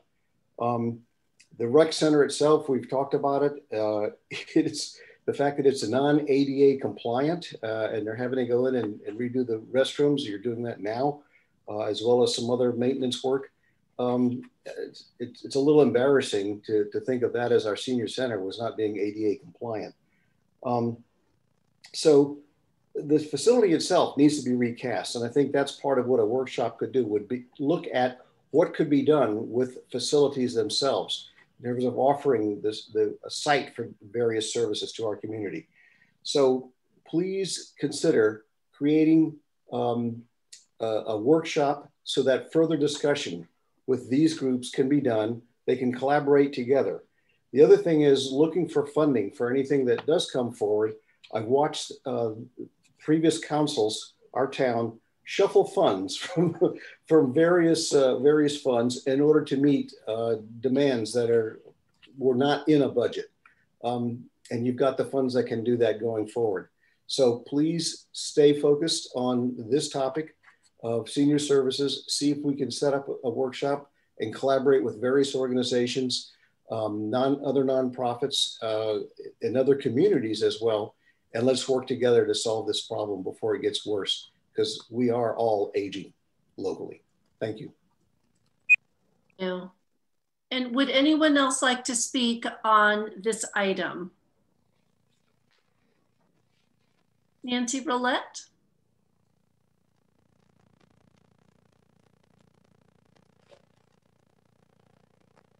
Can you hear me now? Yes, welcome. Good evening, Madam Mayor, Vice Mayor, and Council members. I'm the Executive Director of LGS Recreation and wish to express my thanks and gratitude for the work that the Community Health and Senior Services Commission has endeavored to do thus far and their report to Council. I agree with um, echoing similar sentiments to other speakers, including Lee's suggestion and, and Jeffrey's as well. And I think there's a bit more work that needs to be done. Um, we would be happy to come back with a more detailed budget about uh, what could be provided if we're given the the direction and the authority to be able to help coordinate efforts with other service providers, with local emergents and, and, and the like. Um, but until that occurs, it's a little difficult to kind of pin that down and, and shore up what the specific needs are for the community. So I think further further work and research is required um, to understand how we could best collaborate with one another. We do look forward to an opportunity to engage more deeply and completely with community members, particularly those who are a bit more isolated and vulnerable, especially as we're now reemerging from um, the sheltering in place and we're beginning to expand our reach in the community. So we, we look forward to that. Thank you. Any other speakers? I see no hands raised, so I'm closing public testimony, bringing this back to council for further discussion. Vice Mayor Rennie. Thank you, Mayor. I thought maybe I should start off with my my thoughts since I've sat through, um, I think five five meetings of the commission to, and I'd like to draw the council's attention to page four, um, the bottom table on page four. I, I think that tells the whole story. If you look at the the budget line on that, um, Los Gatos had a budget of a hundred thousand, but that's not money we put in. That was generated. Um, LGS Rec generated that through the um, fees from the adult program, not the senior program, but the adult fees. Um, Los Gatos gave um, uh, uh, you know subsidies towards the facility, but if you compare to the other cities, they've all they all do that also. So effectively, compared to the other cities, we're not putting money into the senior program.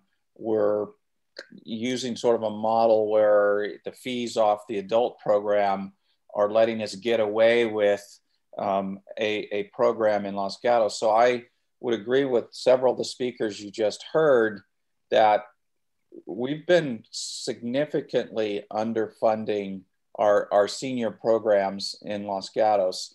Um, the you know the next it the table's a little hard to read, but you can see that many of the other cities, you know, the, the Los Altos is the least with four, a four hundred thousand dollar budget, but you've got Saratoga with a million dollar budget, which is coming some from, you know, Saratoga. I forgot what they're putting in from their general fund, but they are putting in, you know, a lot more than us.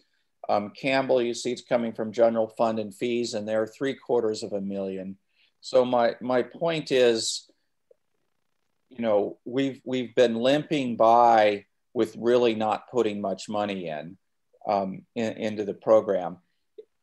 The question is, you know, how do we do a better job at, at funding this? I think, you know, the talk of sending um, them back to figure out the meat and so forth is good, but not if we're not willing to commit the dollars to make it happen.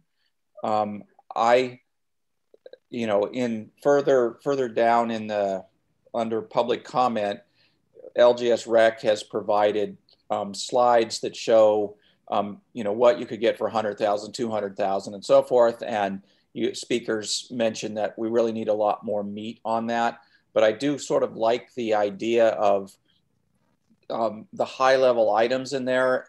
and I believe, and I, Mr. Mr. Andrews can correct me, I believe we could probably use ARPA funds um, for that because we've already done our budget for this year. So where would money come from if we wanted to move something forward um, and not wait till next year's budget?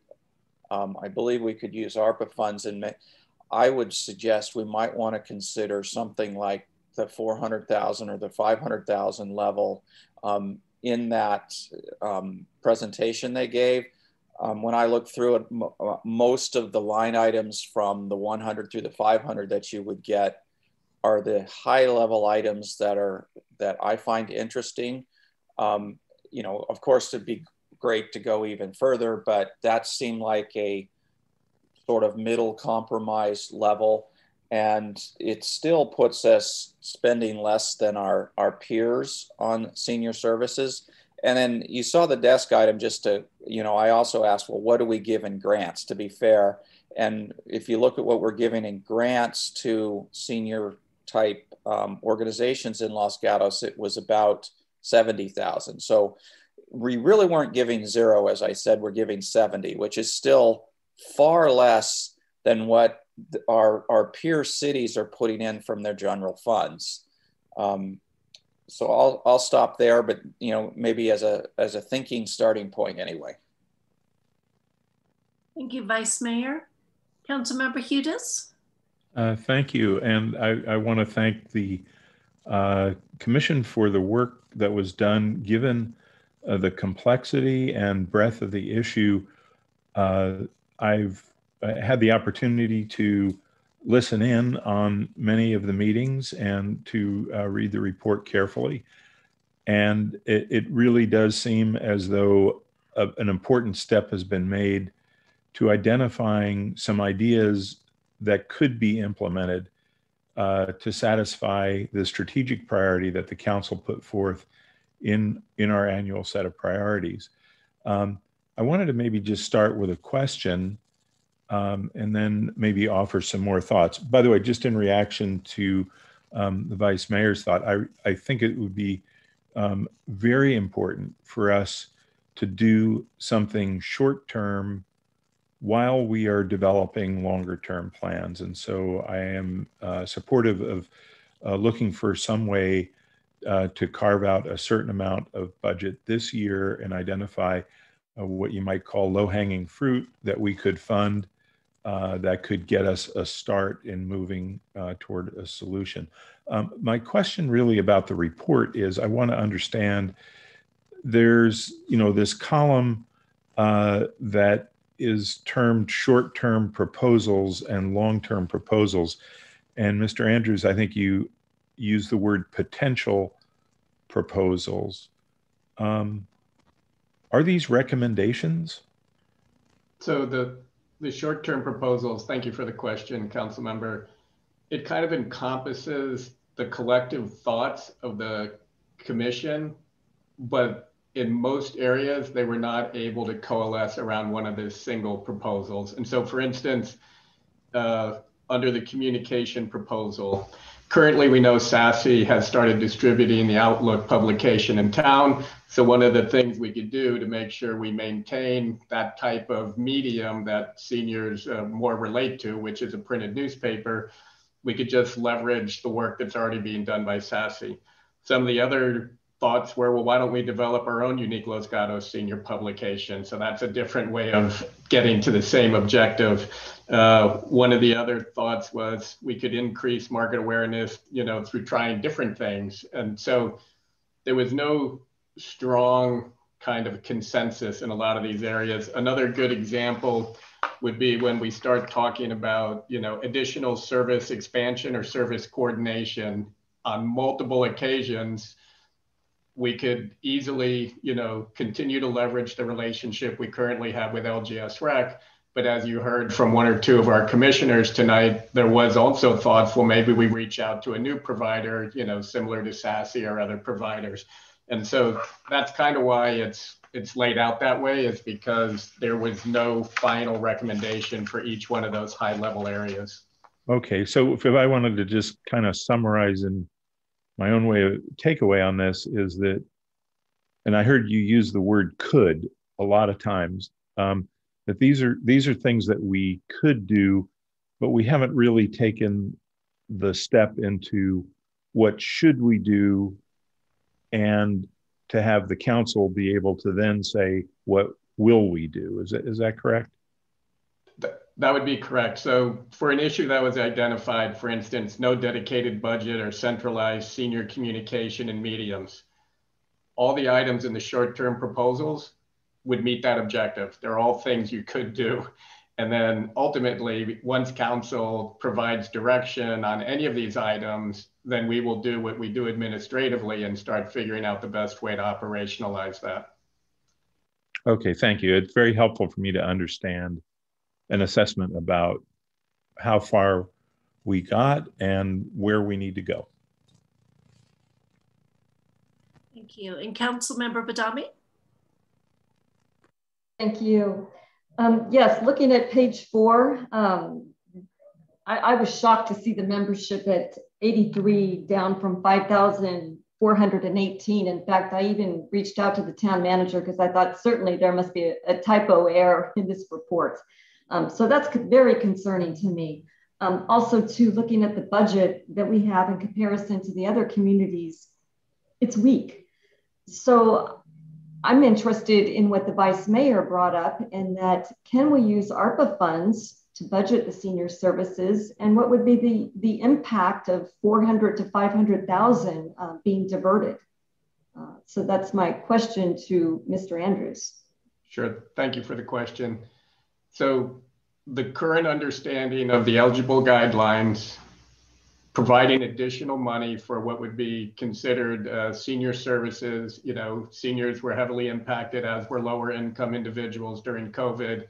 It would more than likely be deemed a, an eligible use in the in the current environment. That's not to say a year from now or a year after that, it would still be deemed as an eligible use. But in the current environment, as we're just now coming out of COVID, it probably would be. There's, you know, one slight wrinkle, which is uh, LGS Rec is a JPA. They're not a uh, 501c3. Uh, it's clear an eligible use to nonprofits, but I think because of the nature of the service that we would be trying to acquire with ARPA funds, which would be dedicated to seniors, we would probably still be able to, to ensure that that would be an eligible use.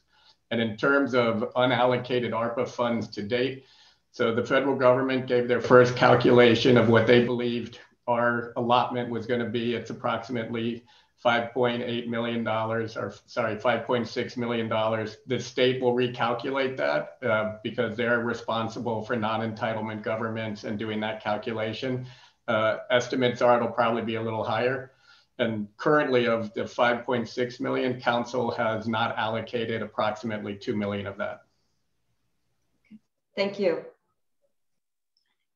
And so then my question, Mr. Andrews, um, and again, uh, I should know this, but given the process of where we are currently in our budget, is it, if we want, if we made some decisions tonight, uh, understanding that at least it's just guidance and, and asking for more information, but give you a ballpark, is that something that you would just amend onto the budget or is that something that would feed into well, I guess I'll leave it open ended. How would that process work? Huh? So, with the budget adopted uh, two weeks ago, we would need to find funding for this, which means it would require a budget amendment. If that were to be ARPA funds, you know, there are currently unallocated funds, and so we would come with a budget amendment for that. If you were wanting staff to go back and look at the entire budget and perhaps change what was already agreed to operationally, that would be that would be a little different. And there's been some discussion of potential improvements to the facility to the extent that there are unallocated CIP funds, you know, we would have to look to the director of public works to opine on that. During the budget actions, there were some unallocated funds that were brought forward to the CIP. So there could be some room there, but once again, the director of public works would have to go back and look at their budget relative to what was done two weeks ago to see if there's any unallocated CIP funds. Thank you.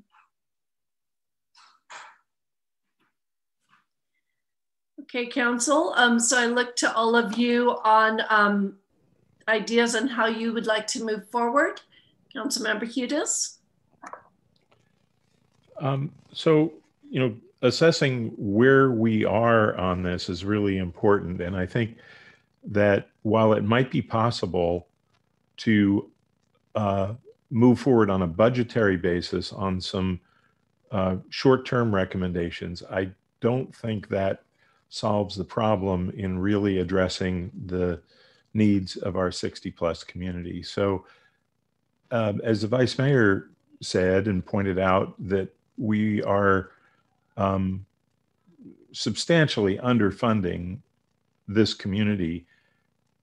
In addition, this community is growing. So at the time our funding is decreasing, the, the community is growing. And so um, I, I, listened carefully to some of the comments that were made by Mr. Picraux, Mr. Conrad, and Mr. Blum. And I think keying off that, it's really important that we go further from the realm of could to the realm of should uh, in our actions. And so I, I would suggest um, that, uh, that we include the stakeholders in shaping the recommendations.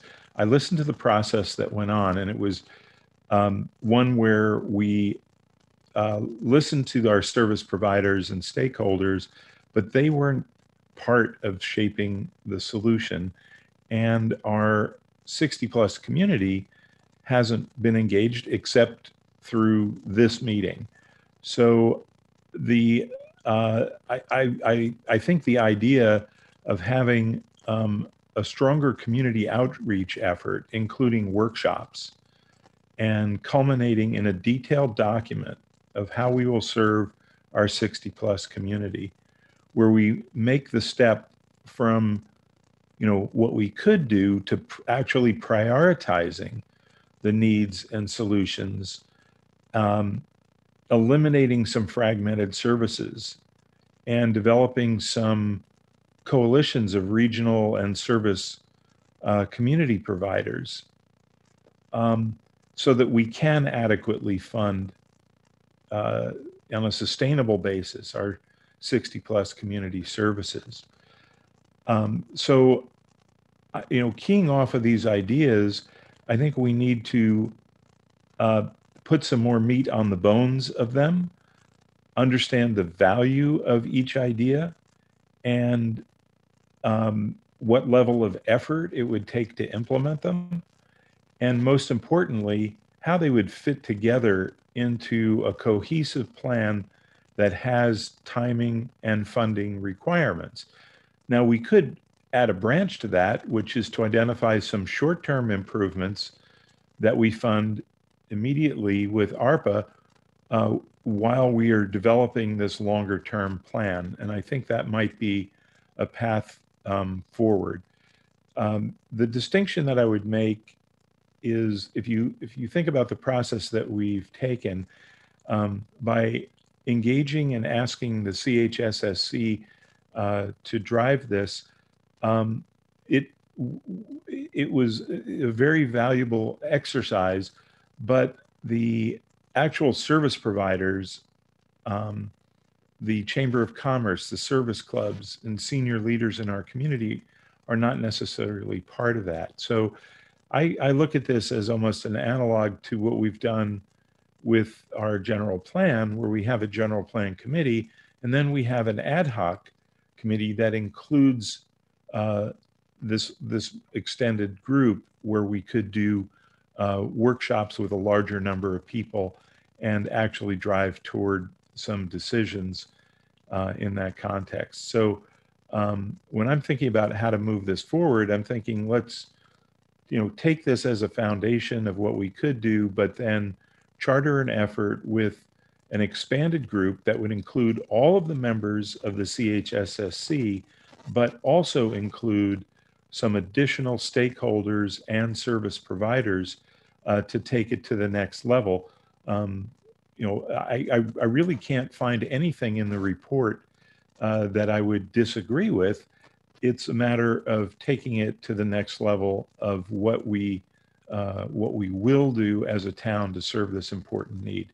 And so that's that's the way I'm thinking about um, the work that I've seen so far.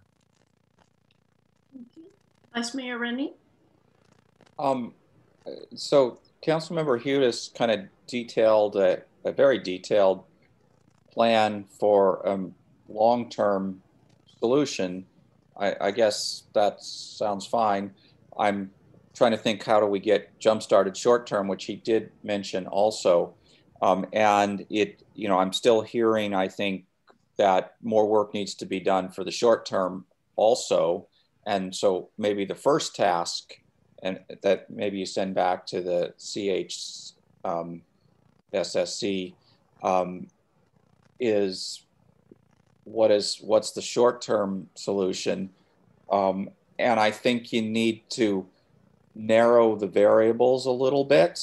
Um, certainly, starting with budget. If you know, I um, I would still leave it open whether you which, what service providers you want to use and so forth. Um, but I again, I'm suggesting you know the 400 or 500,000 of of ARPA funds, and we should probably have some you know, and so you give them a, a budget, and then we, when they know what the budget is, then it's a lot easier, I think, to start narrowing in what are the best ways or, or you know, give us a couple options maybe of, of how it, it should be spent. But then there's the CIP portion of it also because there, you know, there is the facilities that we're starting to do some work on. Um, but uh, you know, even even uh, the rec uh, LGS rec proposal had um, a few had a few uh, facility um, renovation ideas, you know, like a new hardwood, sprung hardwood floor sounds like a good idea. Um, better lighting, you know, I'm not sure how much all that costs. Do we know how much CIP budget we have available? Could the council give a budget direction tonight? Um, you know, I, I don't want to spend it all kind of thing, but you know, if we have a million, maybe we want to spend 300,000. Um, if we only have 500,000, maybe we want to spend 200. I, I don't know what ballpark we are in, and I don't know what ballpark all this stuff's going to cost either. And if I could um, recognize Town Manager Prevetti. Thank you. I'll start and Director Morley, I'm sure will add on. Uh, as you know, um, the council identified some additional CIP resources that are currently unprogrammed.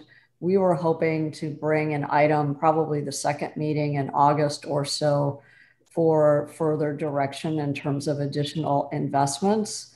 Um, I'm, I don't, I'll leave it to Director Morley if it would be helpful to have CIP direction uh, tonight, but I think we wanted to have a more holistic discussion about the other CIP investment opportunities.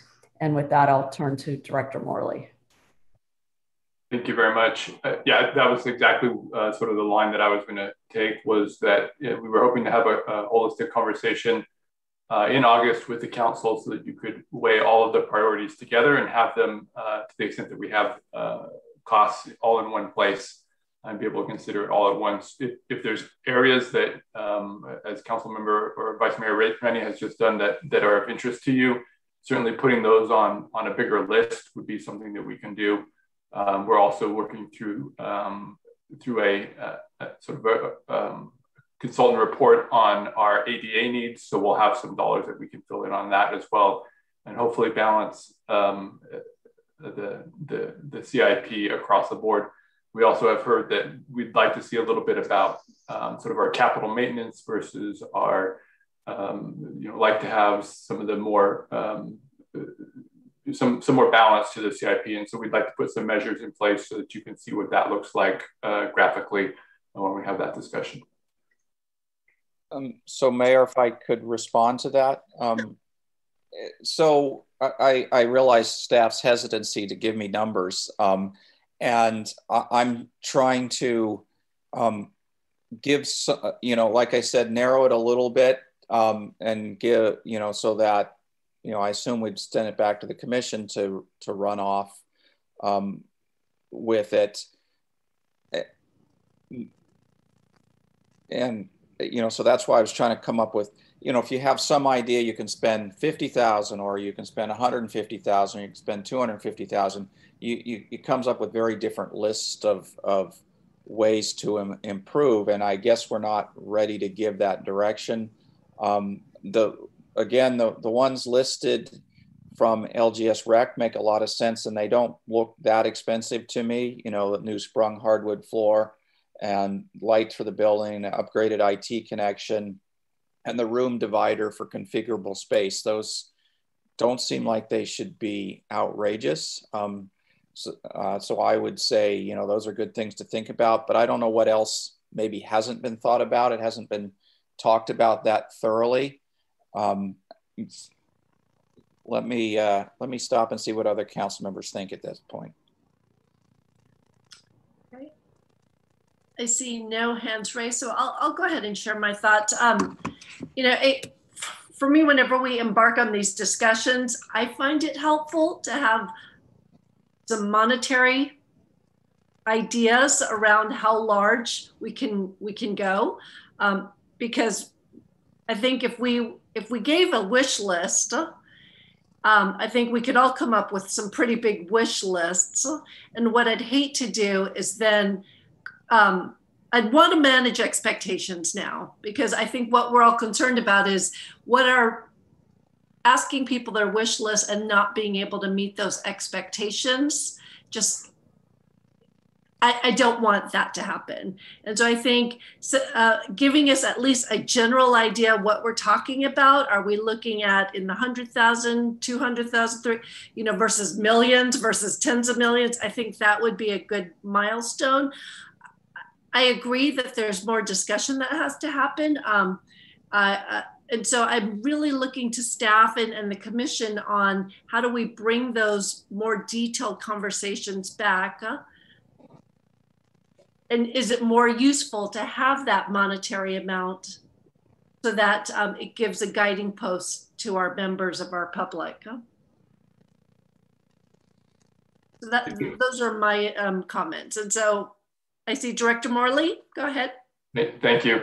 Yeah, so ha having a list of sort of want to haves is, is always good. And we can uh, start with that and we can work on costs or, or ballpark costs uh, from that respect. And that's generally how we uh, establish or build um, the CIP. So our unfunded needs list is things that we've identified over time. We start to put um, real rough, rough costs associated with them. And then that helps them to climb or fall on the list a little bit depending on the cost for the for the individual element. So uh, from a CIP perspective, if, if uh, we want to work with uh, with the commission to establish a list of their priorities or with a combination of stakeholders to establish a list of priorities, we can certainly uh, participate in that.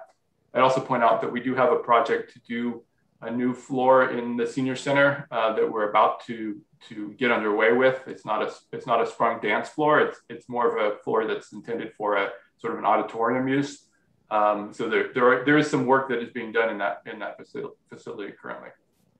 And, and on the operating side, as what's been discussed, if folks were inclined to give a range of ARPA funds, then that would give staff, you know, a better understanding as we go back to the Community Health and Senior Service Commission, kind of what their range of options might be. And then once again, it would also give us the ability based on what they choose to make sure it meets eligible uses under ARPA. And, and Mayor, to the Vice Mayor's earlier question, we estimate approximately 1.6 million of unprogrammed CIP dollars. So if that helps in the conversation, thank you. And then, and then obviously if the town were to pursue a longer range goal of either a new facility or a significantly upgraded facility, that's a, a very different conversation too. That would either require bond funding or some type of revenue measure. And that's a much longer, uh, detailed conversation.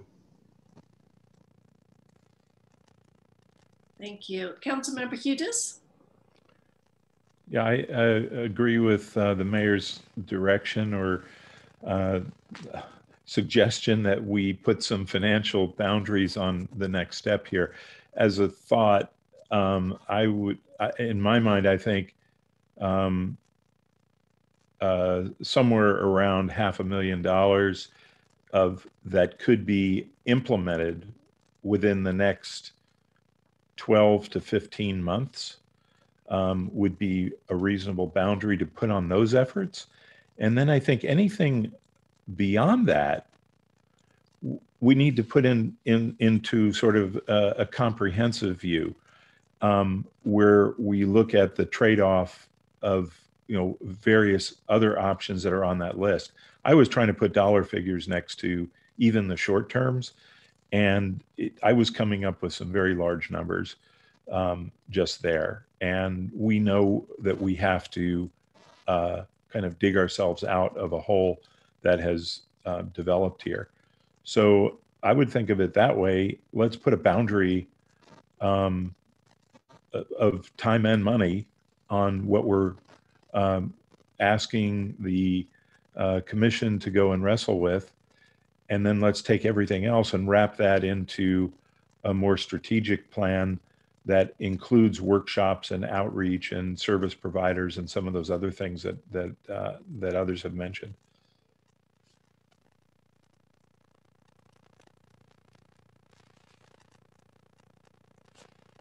Now I know. Um, yes, Vice Mayor Rennie.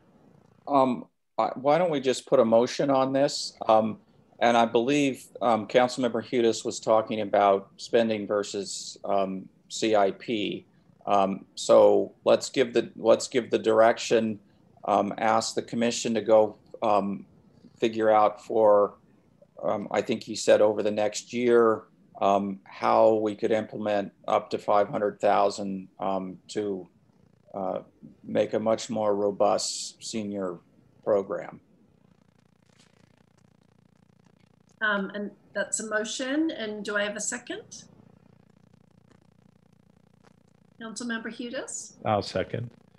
Okay. Any questions to the motion or comments? Yes, Mike, uh, Town Manager Prevetti? I just want to clarify that the intention is to use ARPA funds if it is determined to be an eligible use. Yes. Thank you. Yes. And seeing no questions or comments, I'll call the question. Councilmember Hudes? Aye. Vice Mayor Rennie? Aye. Councilmember Badame? Aye. I also vote aye, and so the motion passes unanimously. And I think uh, many have already shared thanks to the commission for the accelerated work. So thank you, commission. Thank you, staff. And we look forward to the next steps and I'll work with town manager Prevetti on, on how that comes back to the council. And Councilmember Hudes, do you still have a comment? Um, actually, I wanted to um, offer another um, attempt to deal with a longer term part of this. Uh, because I think a lot of the work that has been done uh, has taken us way beyond where we were when we established this as a strategic priority. Um, but it, the, the work is still ahead of us. So I, will just turn it into a motion uh, to establish an ad hoc uh, committee that would include all of the CHSSC plus uh, other uh, members of the community, including service providers, the Chamber of Commerce, representative service clubs, and senior leaders in the community, and expanding that to include uh, several council members. Um, and uh, with the task of developing a roadmap uh, through community outreach activities, including workshops that would culminate in a detailed document um, of how we would serve our 60 plus community, identifying and prioritizing needs and solutions, eliminating fragmented services, uh, developing coalitions of regional and community service for mutual benefit, and adequately funding sustainable 60 plus community services. Um, this plan would include uh, the value of the ideas, the level of effort it would take to implement them, and importantly, how they would fit together into a cohesive plan with timing and funding requirements. So I, I don't want to get too detailed and write chapter and verse on it, but I wanted to give some idea what the the outline or substance would be for this. Vice Mayor, you have your hand raised? Yeah, I got um, a question for the, the town attorney on that one. I heard a couple things that I thought were legally incompatible. The word ad hoc and the entirety of a Brown Act committee. Um, is how does that work when they're talking about a subject that really includes their Brown Act committee? We, we would treat this as a standing committee under the Brown Act and provide agendas and provide the public the ability to uh, participate in all of these meetings. So, so, so we would ask him to amend his motion not to say ad hoc committee, but a, a standing sub, a standing committee. Correct. Okay, I would, I'll, I'll go ahead and second um, with, if that change is okay with the maker of the motion. Uh, that change is just fine. Um, I do have a quick question of staff um, before we begin, understanding that um, I believe it's direct, uh, Mr. Andrews, you're the liaison on that? I, I am, and uh, it would be my pleasure. Well, I, I, my question just is understanding that um, there's only so many hours in a workday. Should this, should this, um, does this replace something? Do we need to prioritize? I just want to be mindful of what else is on everyone's plate.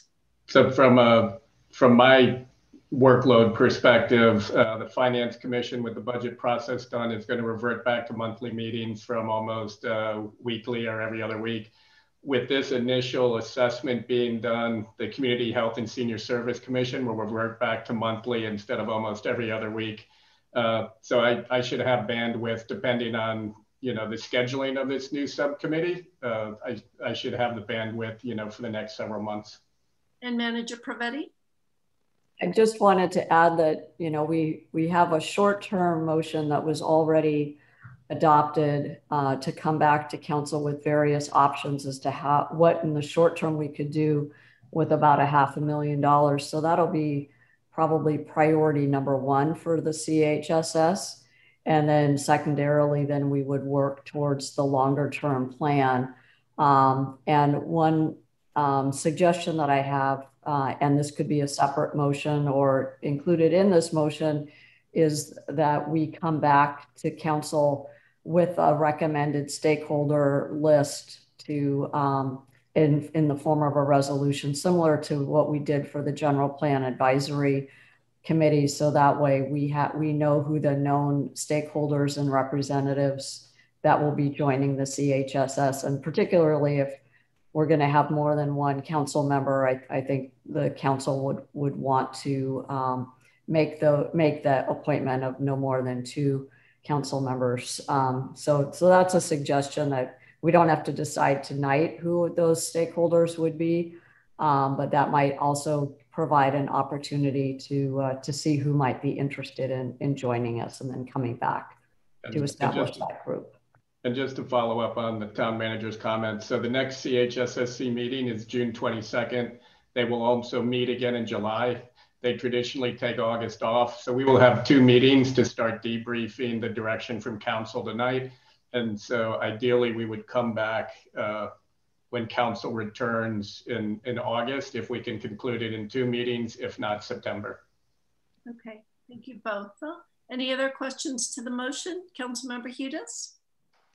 Um, no, I think it would be productive to perhaps amend the motion to uh, include the comments that Ms. Prevetti uh, made about providing a list of stakeholders as part of the resolution. Um, I think that would be helpful. So I'd like to make that amendment. Okay, and Vice Mayor, a seconder? Yep, that I, that's okay with me.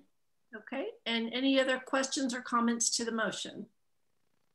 Okay, let's call it. Uh, Councilmember Hudes? Aye. Councilmember Badame? Aye. Vice Mayor Rennie? Aye. I vote aye as well. And thank um, all that have uh, contributed their time to jumpstart this discussion. Um, as we've said, it's been a valuable discussion and we look forward to the continuation. We, um, I'm going to ask that we take a five minute break. Let's come back at 9.25 and then we'll continue with the remaining items. Thank you.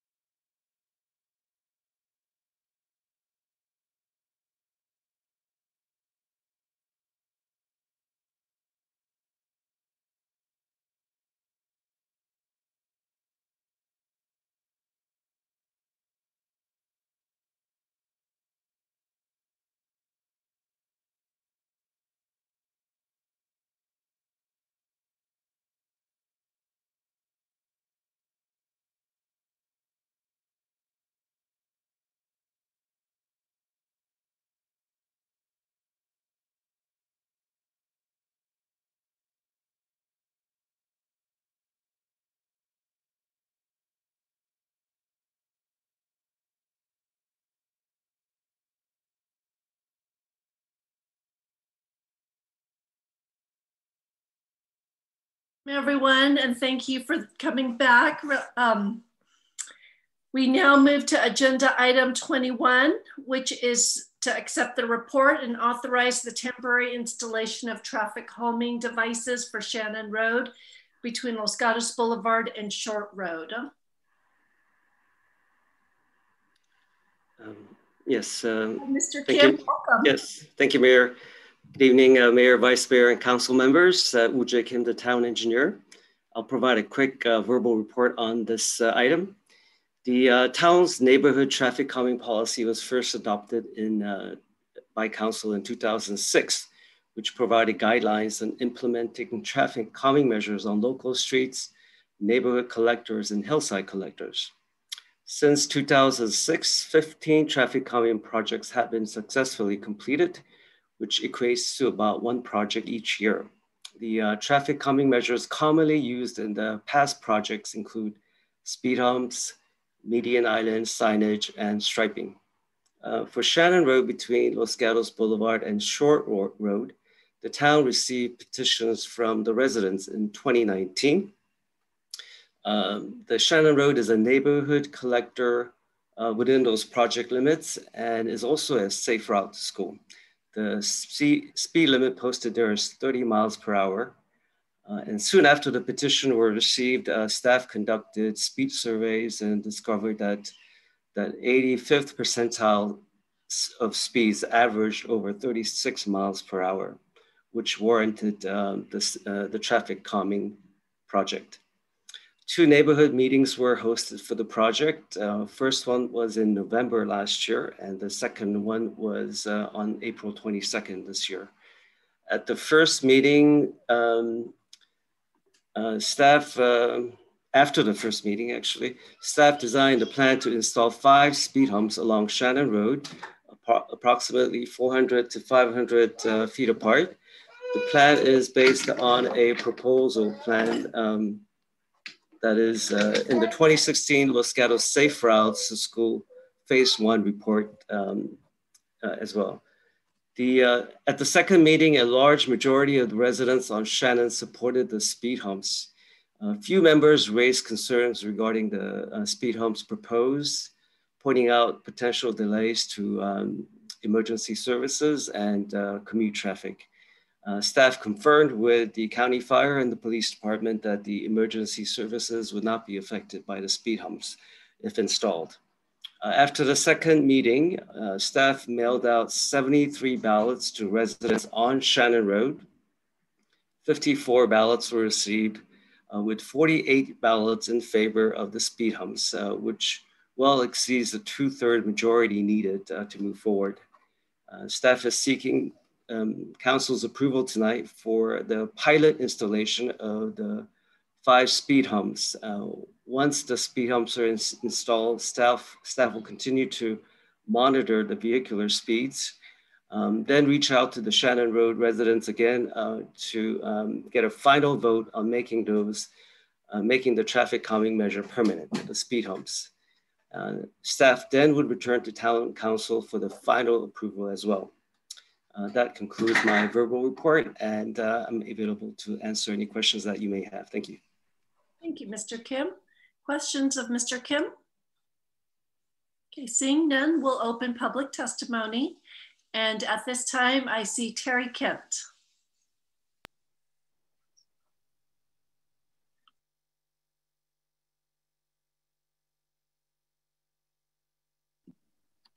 Good evening. Can you hear me? Yes, we can. Welcome. Thank you very much. My name is Terry Kent. I've lived on Hilo Court in Los Gatos for more than 20 years. I want to express my opposition to the proposed installation of five speed humps and the 12 corresponding signs on Shannon Road. I, like residents of 15 other streets, must use Shannon Road multiple times every day to travel to key services and businesses throughout Los Gatos. I believe that five speed humps would be excessive and annoying. And also, the 12 proposed signs would be ugly and an eyesore on a community neighborhood street. I encourage the town to try other measures first. For example, you could reduce the speed limit to 25 miles per hour, just like is posted on Los Gatos Boulevard.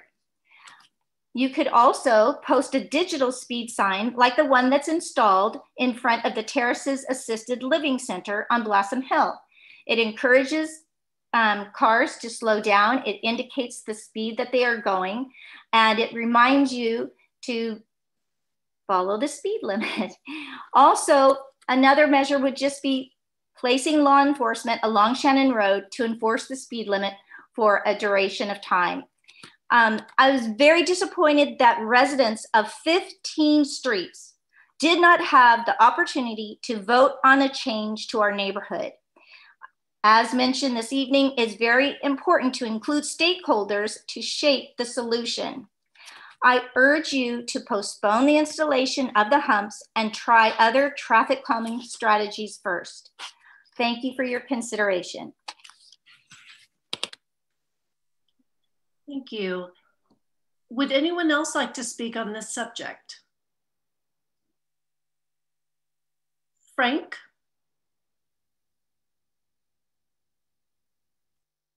Uh, yes, good evening. Can you hear me?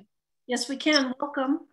Uh, yes, thank you. Um, so uh, I actually live on Shannon Road itself, um, close to the junction with the Short Road. Um, my house overlooks the road directly. It is very, very evident. Every day we have excessive speeding on Shannon Road. Um, it comprises, I would say, a combination of uh, violations perpetrated by young drivers perhaps with their first cars, high powered uh, sports cars. Um, and it occurs many, many times per day. Um, the point uh, about uh, attempting uh, other options have been discussed.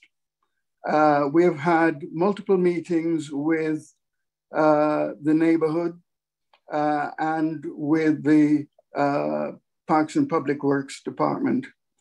The problem of speeding on Shannon Road is not occasioned by people not knowing what the speed limit is. It is caused because the road actually invites speeding. We have a relatively long, straight section of road between Short Road and Blossom Hill Park people are speeding because they can and because they want to. Nobody's speeding because they don't know what speed they're doing. They're speeding because they want to, and the road invites it. Uh, we have had discussions regarding uh, using the police uh, services to enforce the speed limit. And we were advised that because of manpower restrictions, that is not a valid option um, for any period of time. So you might have a temporary effect, but it disappears as soon as the police uh, effectively goes away. Um, we have many pedestrians, elderly and very young, who use this road. Our neighbor across the street would refuse to cross the road in front of his own house because of the danger of uh, speeding traffic. Um, so we would like to see something which is self-enforcing and permanent.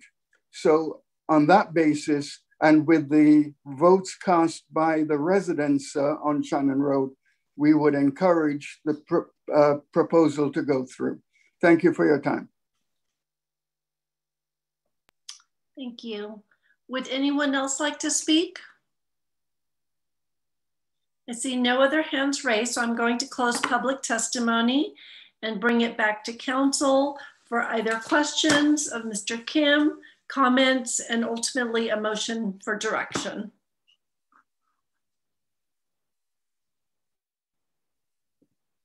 Actually, I have a question of Mr. Kim. Mr. Kim, um, one of the speakers had mentioned um, some various options, including um, uh, law enforcement, signage, the digital signage, and I can't remember what the first one was. Um, can you talk through the process that um, your department has in, in, in recommending what option and why the speed bump? Uh, yes, uh, the different options were considered and discussed with the uh, the neighborhood, um, the members of the neighborhood. Uh, we did consider digital um, signage, the speed radar, and um, as uh, Frank mentioned, uh, felt that it wouldn't be as effective as the speed humps. Um, enforcement is obviously an option as well, um, and the police department is aware of the situation, and they've been involved throughout the neighborhood meetings. Um, um, um, and I'm, I'm, sure they'll do whatever um, they can to um, increase the uh, reinforcements needed. Um, uh, enforcements needed. Uh, as far as lowering the speed uh, limit, uh, we can't uh, technically warrant a lowering of the speeds with the current survey of the speeds that we took. Um, which would not uh, legally um, stand on a court if, if challenged. And so um, with the survey with 85 percentile of speeds coming in at over 35, uh, we can't just arbitrarily reduce the speed to 25. That's not something that we, it's not, we're not allowed to do. So those are the reasons. And, um, and also uh, for the safe routes to school, um, there was a consideration of doing some speed tables, which are the wide speed humps. Um, they, they would also slow down the speeds, but not as much as the speed humps.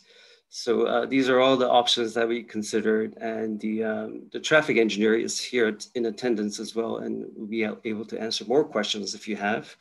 But um, those were the the design and thought process that uh, went through with the current recommendation. Okay, and I appreciate that. I just wanted to um, uh, just uh, better understand the process. So thank you. Councilmember Hudes?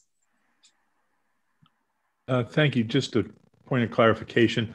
Um, I've heard the term speed bump and I've heard the term speed hump uh, in the report. Could you clarify and is there any effective difference between those? Um, it, there isn't probably um, a difference. Uh, it, it could probably be used interchangeably, but speed humps are probably more of a standard term for a traffic calming measure. Um, yeah, you might see a speed bump uh, in, a, in, a, parking lot, um, but um, the detail and the cross section of those would be similar, um, but we have a, a, town standard that we would apply for a speed hump. Um, the, the major difference we will come in with the speed table, which would be a wider 10 foot wide uh, table that would be installed. Uh, so that, that's where the distinction would happen. I see. And we're not recommending a table here. Is that correct? Um, um, that's not what the uh, the neighborhood voted for. They voted for the speed humps. Um, so yeah, that's the current recommendation. Okay, thank you. Thank you. Councilmember Badame? With the analysis and the survey that was done, uh, what is proposed before us is clearly the most effective solution. So I'm just going to jump in and make a motion I move to accept the report and authorize the temporary installation of traffic calming devices for Shannon Road between Los Gatos Boulevard and Short Road. Thank you, and may I have a second? Councilmember Hudes? Um, I'll second. Okay, any questions or comments to the motion? Seeing none, Councilmember Hudes? Aye. Councilmember Badame? Aye. Vice Mayor Rennie? Aye. I also vote aye and the motion passes unanimously. Thank you very much. And we now move to item number 22, which is to provide direction on the proposal from Forbes Mill LLC requesting a restaurant pop-up at Forbes Mill located at 75 Church Street on Saturdays from June 19 through October 30. Welcome, Monica. Good to see Thank you. Mayor. Good evening, Mayor and Council. I'm Monica Renn, the Economic Vitality Manager, and before you this evening um, is the proposal that the Mayor just outlined. Um, and I'm going to keep my comments brief. I realize it's getting late, but I do want you um, to know that we're all here to answer your questions. We're just looking for some guidance on um, an existing restaurant who's looking to do a pop up in this location. It's property owned by the town, and the restaurant use is one of the outlined use it, uses in the lease, which was attached to the staff report. Um, and so it gives us the opportunity to try that that use here. We've received some public comments that were also attached. And if you have any questions on any of the documentation, we're happy to help. Thank you. you. Council members, any initial questions before public testimony? Yes, Vice Mayor Rennie. Um, so I was trying to understand the restaurant use. It, it looked like it's outside, um, kind of on the trail side of the building. Is this meant to be a, basically or mostly for people that are, are using the trail? I definitely think that there's a combination based on the proposal and some subsequent conversation. Um, I think that there's an opportunity to draw folks off of the trail and folks off of the street, both walking, driving, biking. So it, it provides us an opportunity to really have a multimodal access for a gathering spot for visitors and residents alike. And, and I, so when I thought it was mostly about trail, then I started wondering why it was going to be open till nine o'clock at night, and and whether that's uh, you know really necessary to have it open that late. I think it's definitely the purview of the council if, if you're looking at different hours. Um, I my thought and what I understand is that there's um, a thought to kind of try a breakfast crowd, a lunch crowd, a dinner crowd, see how that traffic flows see how it fits with the neighborhood. Um, it gives the ability to have some flex. As I understand it, um, it wouldn't be the full 12 hours right out of the gate. It would be kind of an opportunity to just to try some things out. Um, dinner service is typically done, you know, seven or eight o'clock at night, usually the last round. So I think that was the thought behind the nine o'clock. Um, but I, I do believe that Mr. Foley's in the audience today to have that to do some public comment. He may be able to be more specific with the answers on that and and to follow up on that, you know, I can imagine, you know, again, breakfast or lunch being people that are on the trail. Dinner starts to get into everybody's got to drive there, and there isn't that many parking spaces. So I'm trying to understand if that, you know, how how big a restaurant for evening are we talking about? Is there enough parking available for that? Yeah, and I think part of the benefit of it being in the summer is that it's lighter later. So um, there could still be the ability to use the trail or use the streets and walk, you know, Main Street down. Um, I think it just depends on on the customer and the product. And one final last question. Um, so this is a pop-up that implies we're testing to see if a restaurant works here. Um, is it? But everything is outside, so are we testing for a restaurant that would then be like this outside or are we testing for a restaurant that would be inside i think it could be both the, the inside will be open for the restroom use um, i think because it's a pop-up in nature we often see this in the commercial world with vacancies um, they will um, a, a, landlord will put somebody in who can kind of utilize the space in a way that's not really disruptive to the shell itself without doing TIs, without making major changes. And given the licensing that this particular restaurant has, it makes sense to to use the outside area. They're not disrupting anything on the inside. And then that way it's still available for a variety of tenants. Whereas if they went through TIs it doesn't make sense to be a pop-up or if they did major changes on the inside then perhaps it's not as welcoming to another use through this leasing process. So i think the ability to use the outdoors but have the indoors open offers the chance to see the space function and maybe identify challenges or identify what could potentially work there in the future. Okay thank you. Councilmember Badame a couple questions. Um, I'm trying to understand the draw from street traffic because it's so off the beaten path um, that it's really not visible to most people that even would know it's there to even drive there, you know, unless there's some type of publicity that's going on. But with that in mind, um, is it just beer and wine or the opportunity to serve cocktails? And with cocktails, will there be cocktails to go, which could present a problem? And then a direct question would be what would be considered the occupancy since it's primarily outside? How do we know what how big of a crowd we could get and how many picnic tables? Um, because it's it's really a secluded um, area.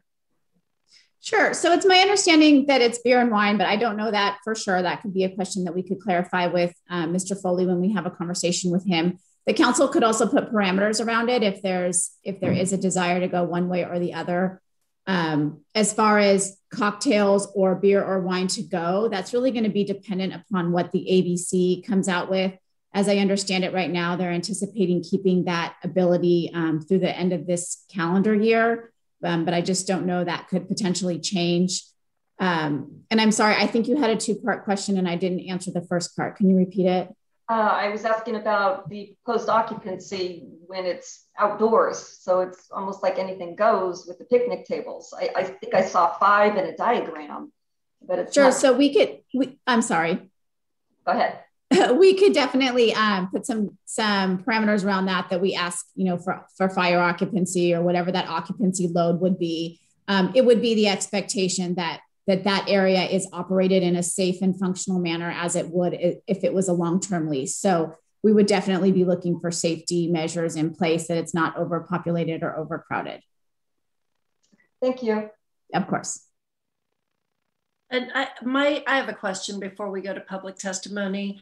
I know um, in the staff report it states that it is a the restaurant use is a permitted use under our current agreement, and so this pop up does test it. And so my question is, if it doesn't work, do we have an ability then to amend the lease so that that restaurant provision would be struck?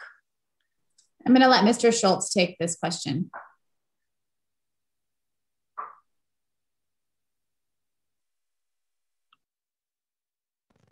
So we, we wouldn't need to strike the provision if the restaurant doesn't work. I mean, the, the message would be sent to the lessee that we're not looking for a restaurant. And again, you're still going to have final say uh, at the end of the day for any use that goes in there. Um, the good thing about a pilot program is that you do get the ability to see how it will work at this location and then make that determination. But I don't think we'd actually need to amend the lease. We could, but um, certainly since we already have the ability at the end of the day to allow for any permanent use that goes in there, um, we would just work with the with the lessee to make certain that if in fact at the end of this pilot program, if it's not suitable with the neighborhood, we would instruct the lessee to look for other tenants besides the restaurant. Councilmember Badame? To Mr. Schultz, would that mean that we would always have a say in whatever new restaurant might go in there if it was approved? And let's say a restaurant went in there and it was great, but maybe they decided to fold up after three or four months. And then another restaurant comes in that didn't operate very well, that caused a lot of problems, but now we've already approved restaurant use. So do we have a say with each and every restaurant if we approve a restaurant that might go in? You actually do in this situation. That's what's remarkable about this situation in Tate Street is that you're not just granting the, a use, a conditional use permit, but you are the landlord for this property. So at any time, yes, you could remove a tenant if they were not uh, within your your parameters and liking. So that is still possible. We have tremendous power to decide who goes in there and how long they would be able to stay in there, as opposed to granting a conditional use permit that runs with the land. Thank you. And we, specific, we specifically talk about no assignments. So even if it was going to be assigned, it would have to come back to you as a new restaurant, which typically does not happen in a in a usual conditional use permit where you're not the owner of the property. Any other questions? Seeing none, I will open public testimony. At this time, I see two hands raised, but if anyone would like to speak on this, please raise your hand. First speaker is Greg Hacker.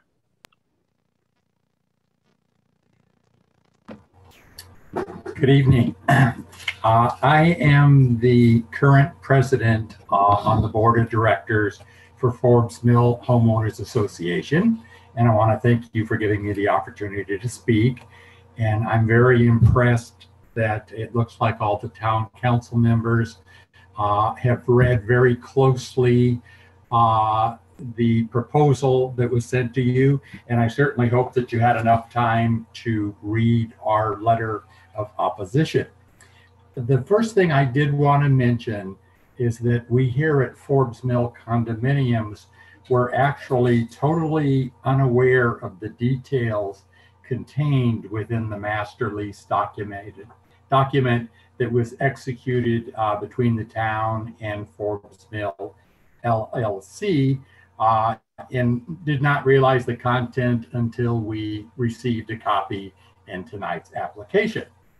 Uh, with that being said, I realize that we are not actually a party to this agreement, and, and of course, uh, have no legal hearsay, so to speak.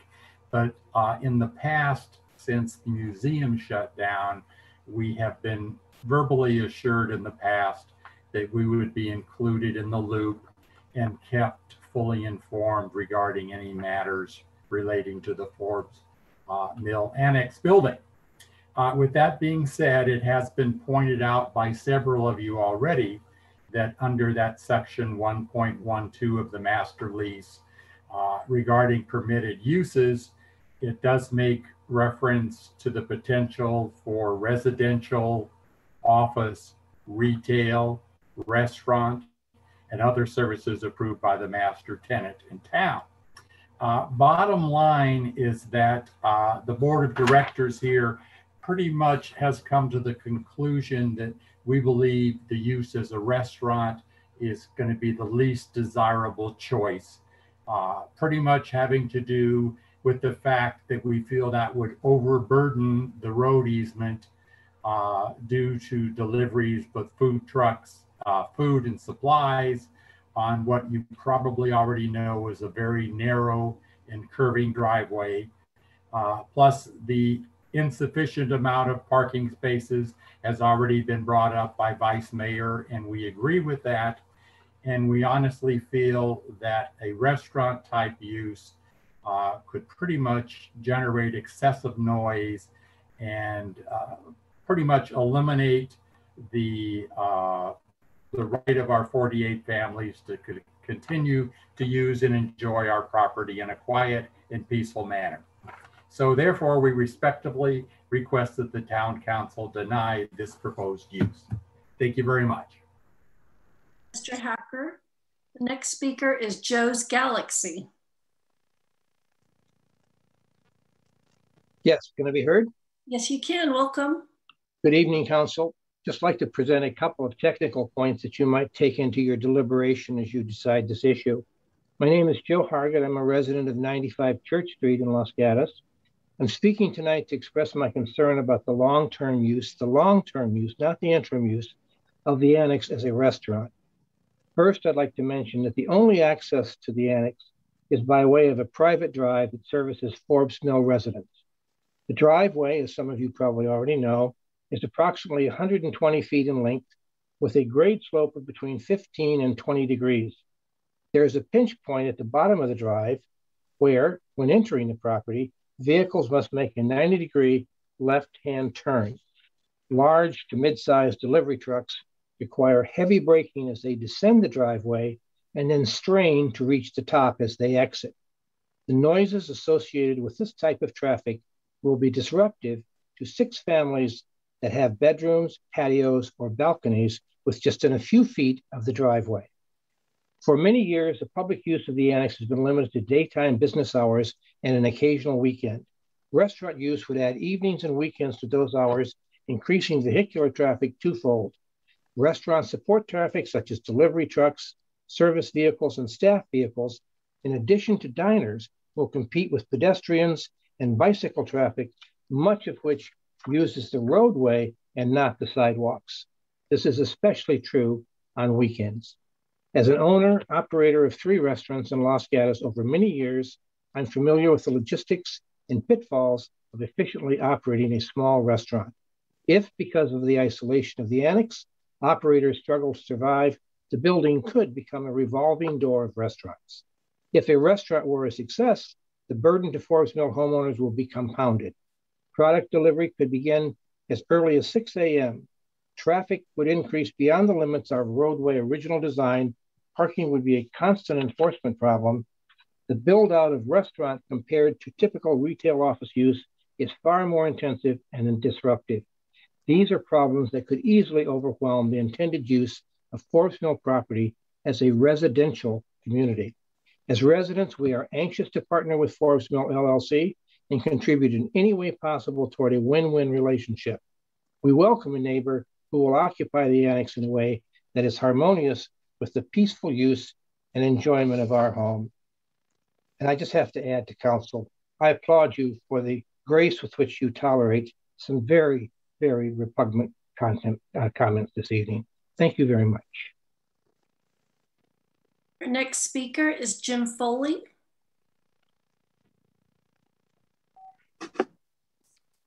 Good evening, Madam Mayor and uh, Honorable Council. Can you hear me?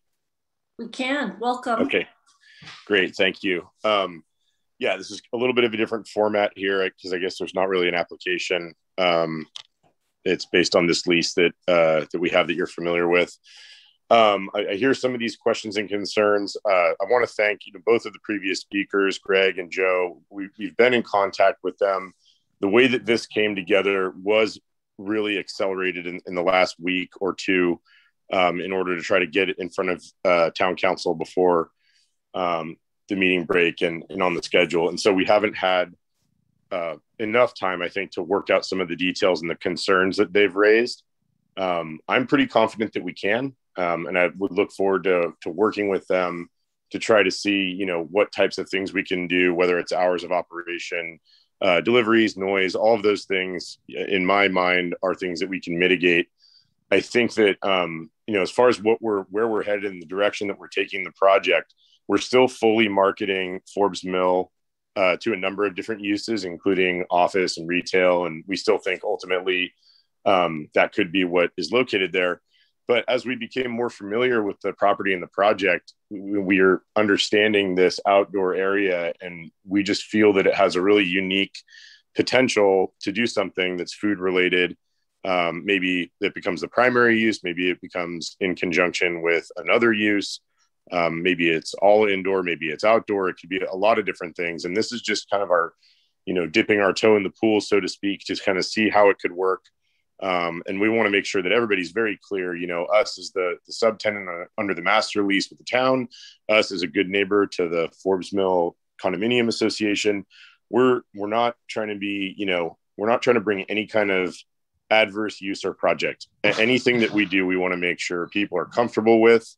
Um, we look at this as potentially being an, an amenity, not a nuisance, if we can execute it right, and hope that the homeowners would feel the same way. Um, some of the specific questions regarding parking and use, uh, you know, we we have brought up in the past, and just most recently haven't closed the loop, but have brought up in the past the potential to um, enter into some kind of an agreement with the association, you know, maybe to lease some of the parking or compensate them for, um, you know, whatever intensification might occur on the roadway to make sure that you know we're not um, damaging them in any way. So uh, you know, I'm here for questions if you have questions about it, but really we just want to want a chance to try this out and see how it works, and then you know, get back to council on both ends.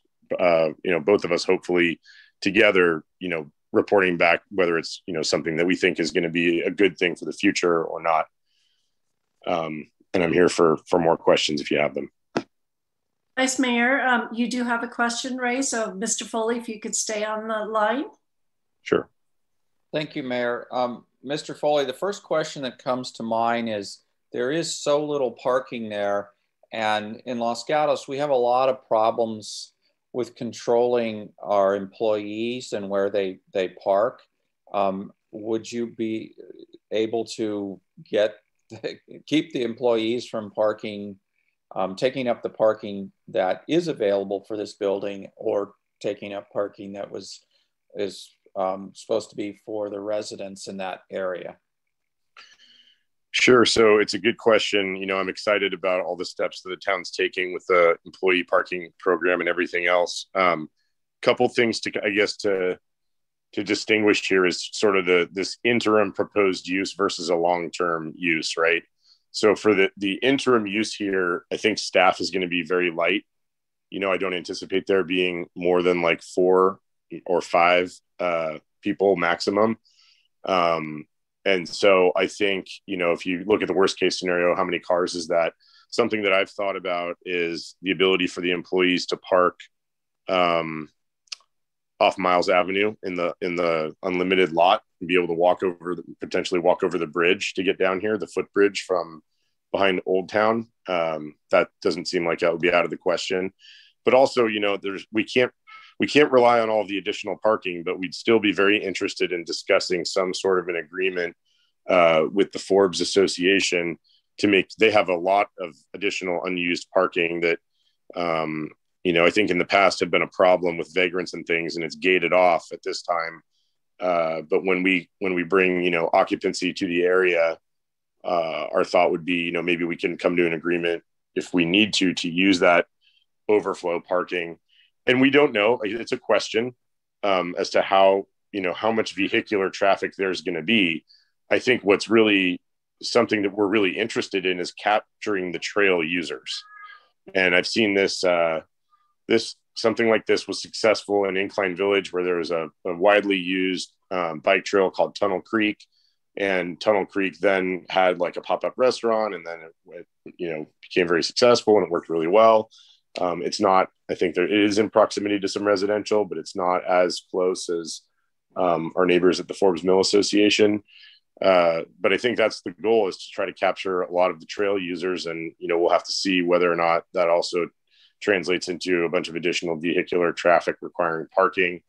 Um, long answer to your short question is I think that we can manage the employees to not um, have an impact, and then the unknown will be the customers and who we're really drawing from. Um, second question uh, on on I had a comment on Tunnel Creek. So it was so successful they then built the East Lake Trail to add on to it. uh, yeah, maybe maybe so. I think that that was under uh, definitely under a, um, a separate project that had been in the works for quite a long time. But um, so back back to this um, is so the one thing I I haven't been over there for a little bit. Isn't there a lot of road noise there? Is that as outdoor really going to work?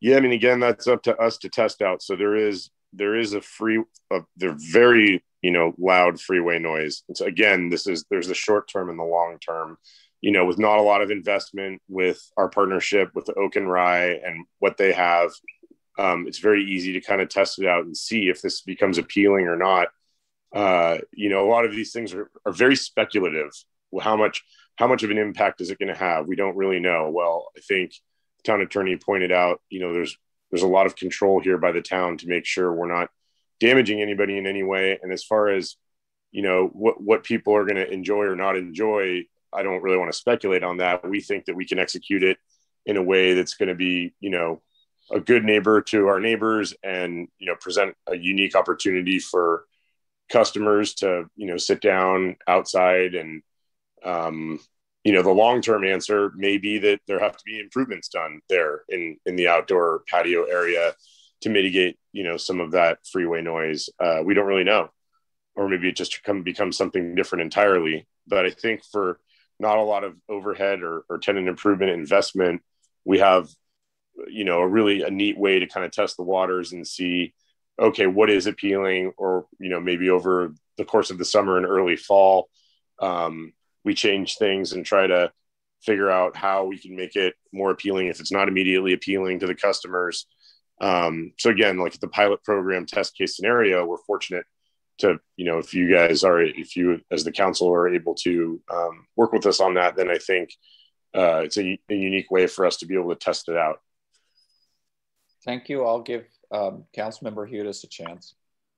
Councilmember Hudes.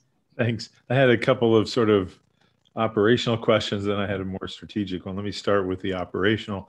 Um, is it uh, possible to limit the uh, deliveries so that they do not go down the driveway?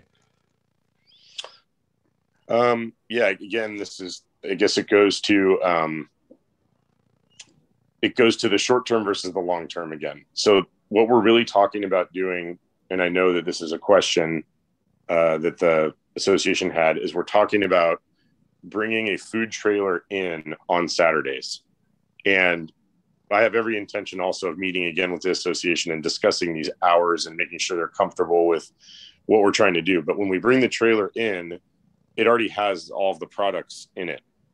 So that's going to be different than what would happen if we were to build a, you know, in another another kind of food use there down the line. So there might be more of a conversation at that time. Um, you know, and maybe maybe just bringing in the food trailer kind of gives an idea of what noise might be like at certain hours that we could, you know, then sort of translate into what kind of limitations would be appropriate for a more permanent use. Um, but there, you know, we won't know that, I guess, yet as to the deliveries because it's really coming preloaded and then exiting, you know, after having done all the kind of cleanup and janitorial things that we're going to need to do at the end of every Saturday. Um, it'll be basically, you know, packed up, packed up, packed trash and, and hauled out.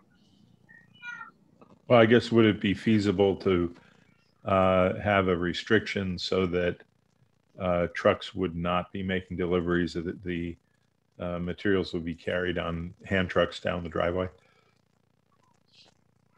Uh, well, yeah, I guess, I guess I'm confused. So short term on the pop up, that isn't going to be. There won't be any deliveries. Right. We wouldn't have the need for that long term.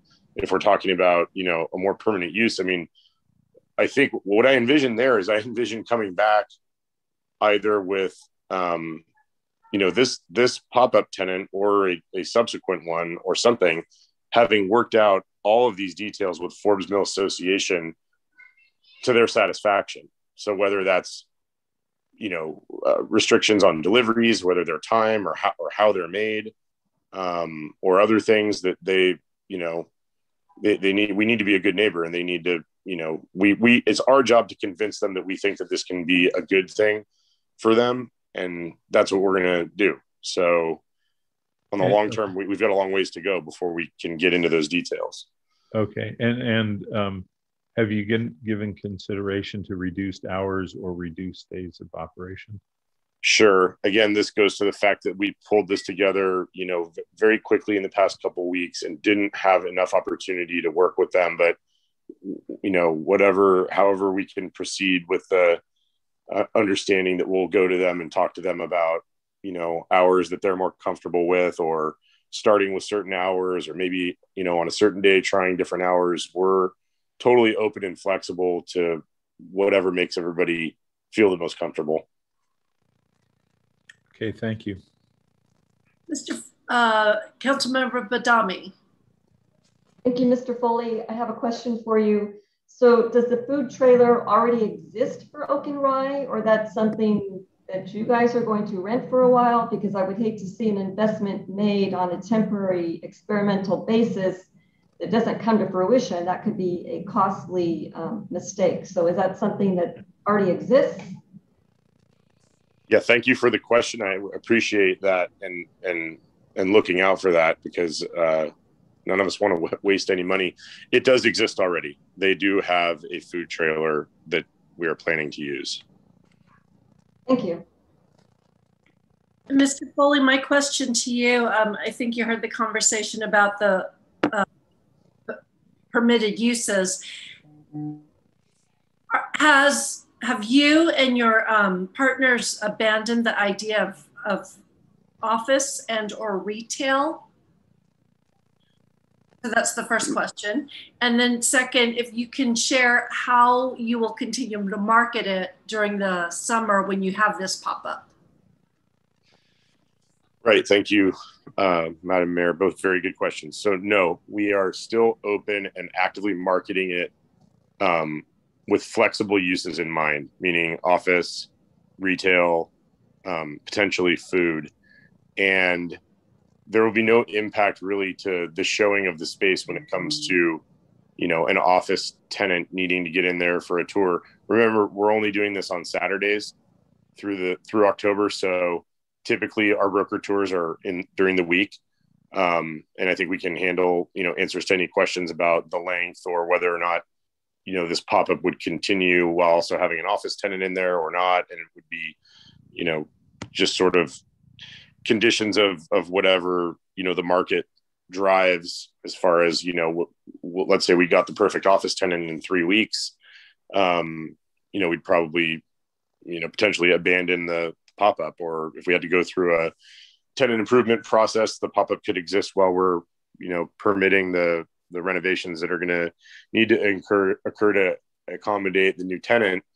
Um so to answer that first part of your question i think you know we we've realized a unique opportunity that we've noticed in other places that seems relevant to this space building and outdoor area.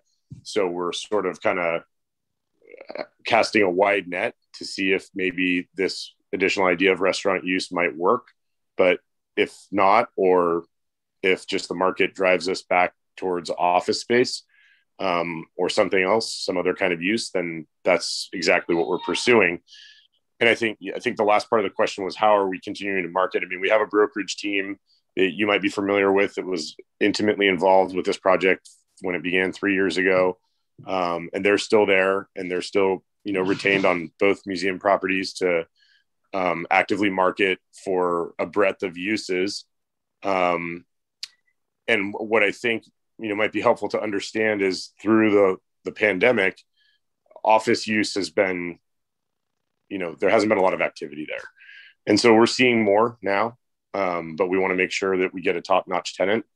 And so we haven't eliminated the possibility of you know top notch uh, you know f- food users to look at it. At the same time that office users might be potentially looking at it um, and we'll we'll see maybe, maybe a, a top-notch restaurant tenant comes up in the midst of this pop-up that's different than oak and rye.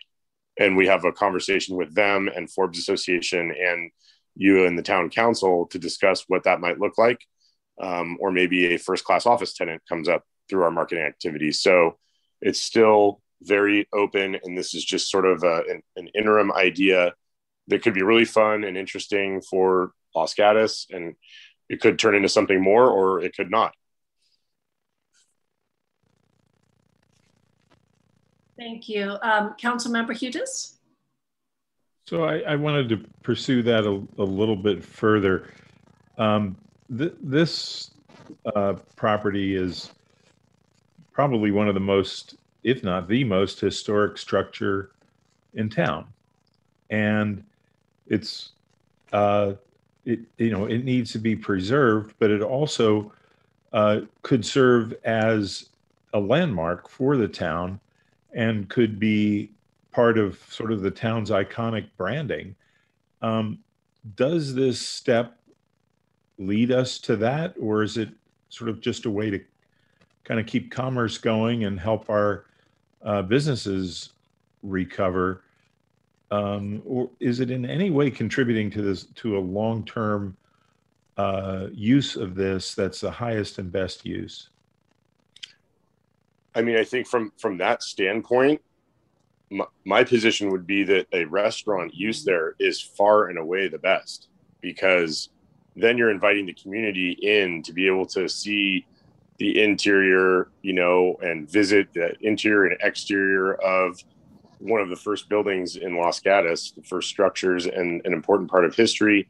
Um, you may or may not know, you know, we've been in close contact with NUMU about some of the artifacts that are remaining there in the hopes that they can be incorporated into the project. And w- while we have uh, the ability to invite people in with a use like that, if it becomes an office space, it is less likely for anyone to be able to go inside unless they're a specific client or customer of that business, which is you know far less than something that would be you know food related for um, you know I guess I would use the word more transient customers. Um, so you know I think that it's just really subject to working well with with our neighbors there and being good neighbors. Um, and I think that you know we've seen there's plenty of examples of of ways that it can work well.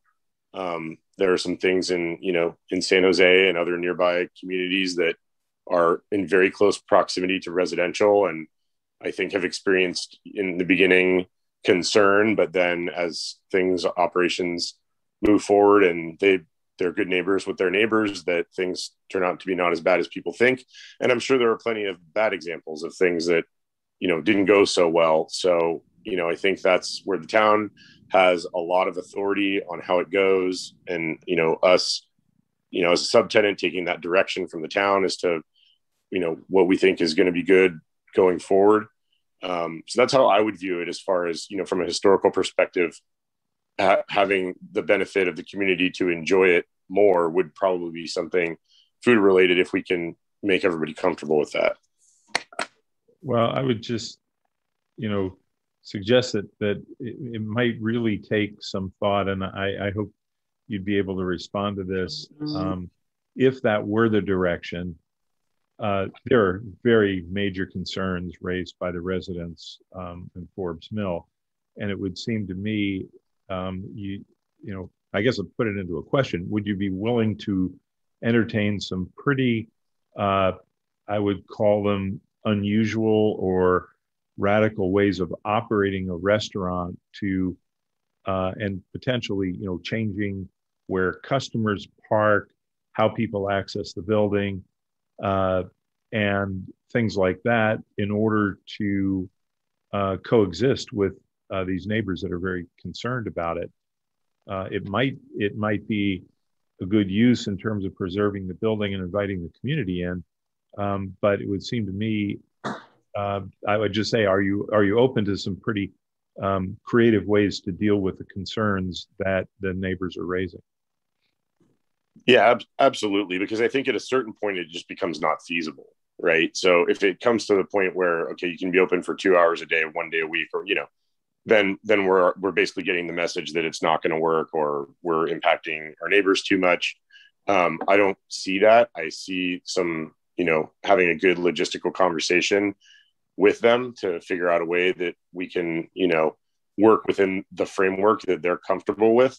And you know again it comes back to then if it doesn't work or we or we are able to test it and we and then there's you know meaningful objections that are documented about how they've been negatively impacted or whatever then it's it's over and we're going to have to move on and um, continue down the road with some other uses. So i think that it, that will be a natural it will work itself out naturally with us taking the position that we are going to be good neighbors and we aren't going to create any impacts. And if we then do we've you know we're not doing what we said we were going to do and it's going to preclude us moving forward. Thank you. Any other questions? Thank you mr foley. Next speaker is marilee rimmer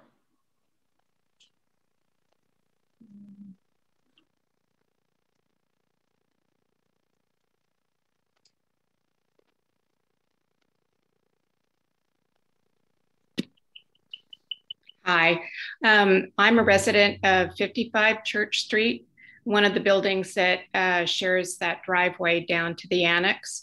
Um, I have a couple of concerns. Um, I think that the amount of traffic that could be generated would be very disruptive. And um, that, in the long run, creates a lot of problems. We do have the high school and the kids that use that uh, come across the bridge. And I drove down there today to see, you know, what what it might be. And there were a couple of kids coming off the bridge and uh, turning and and not even seeing my car, just came right out in front of me off the path um, across the street and you know down behind the annex. So I'm really concerned about the kids and how they use it. The high school kids up, um, you know, from the field hockey come up um, out of there. And, you know, if, there, if there's more traffic, um, bikes or cars or whatever it is, I think it's a real safety issue to have that kind of traffic that could support the restaurant. I'm intrigued by the idea, but um, I think the added noise, um, the garbage that might be there, um, we know how the, the restaurants around here generate a lot of garbage. And I think, you know, with the encampment right around the corner, it's just going to create a even bigger problem of, you know, a mess down there. And um, so, anyway, I'm definitely concerned about the added noise and, and disruptive nature that um, something like that could um, bring. And that would definitely impact all the residents around there. Um, I am concerned also about the parking because um, certainly we have faced many problems with um, the high school and events and things like that that they have and um, maintaining the parking places for the residents here rather than the high school. So I'm not sure how that's going to be taken care of another issue, I guess, to work out. But anyway, those are my thoughts. And thank you for your time. Thank you. Our next speaker is John Schweitzer. Hi, can you hear me? We can. Welcome. Hi there. Uh, thank you for the time. Um, I'm also a resident of 95 Church Street, and um, I echo the sentiment of my uh, uh, uh prior residents uh, who spoke here tonight. Um, I'm I'm mostly concerned about capacity. Um, you coming in and out. You have one way in and the same way out. So if there were to be an emergency, you'd have people at the end of this drive trying to get out along with our residents. So that's the first uh, uh, uh concern I have. The second is in the community. You know, this is the pathways we all know for children, um, our children in the community, my children, and um, others. And so, so um, as those children come down paths and other paths into a bar restaurant that's serving beer and wine, I, I'm concerned about the message that we're sending there. Um, I appreciate Mr. Foley's, um, I think, offer to um, um, to take a look at what the possibilities are.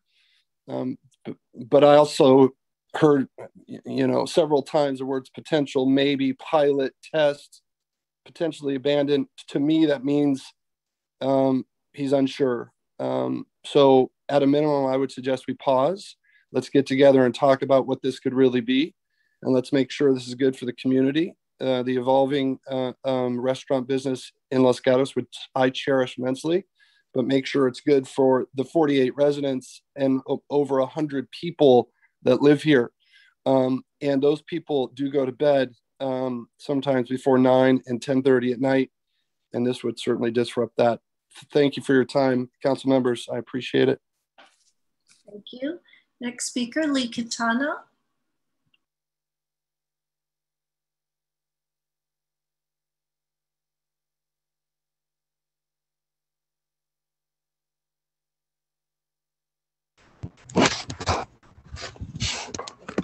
Hi, Council. Um, just a few comments. Uh, the idea of an outdoor restaurant at Forbes Mill is very enticing.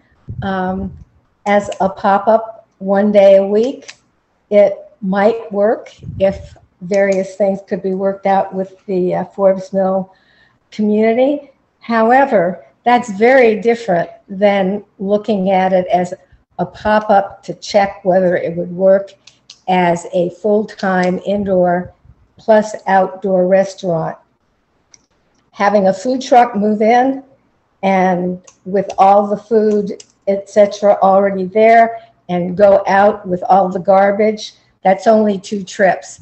But a full-time restaurant, six or seven days a week, will have much more garbage coming in and out, many more deliveries going in and out will have much more impact on the adjacent residents and will probably have the added noise of the kitchen ventilators, which can be very noisy and annoying. And I can attest to that because I live in a condo in Oregon just above a restaurant, and it is not pleasant sometimes.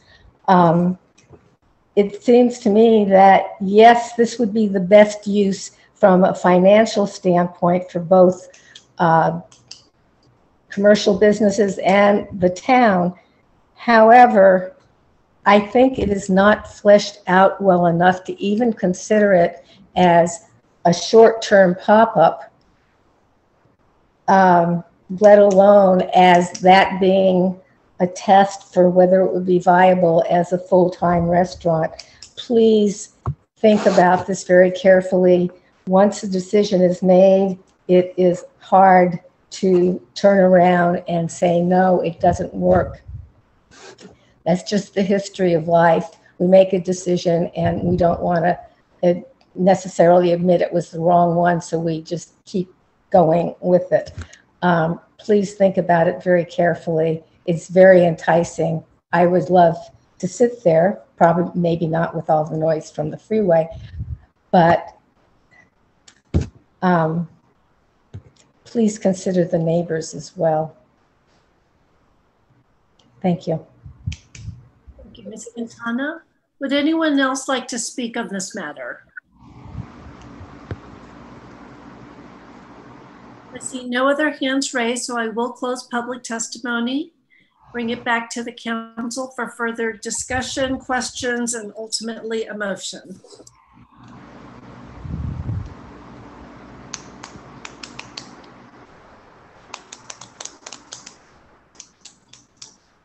Uh, Vice Mayor Rennie?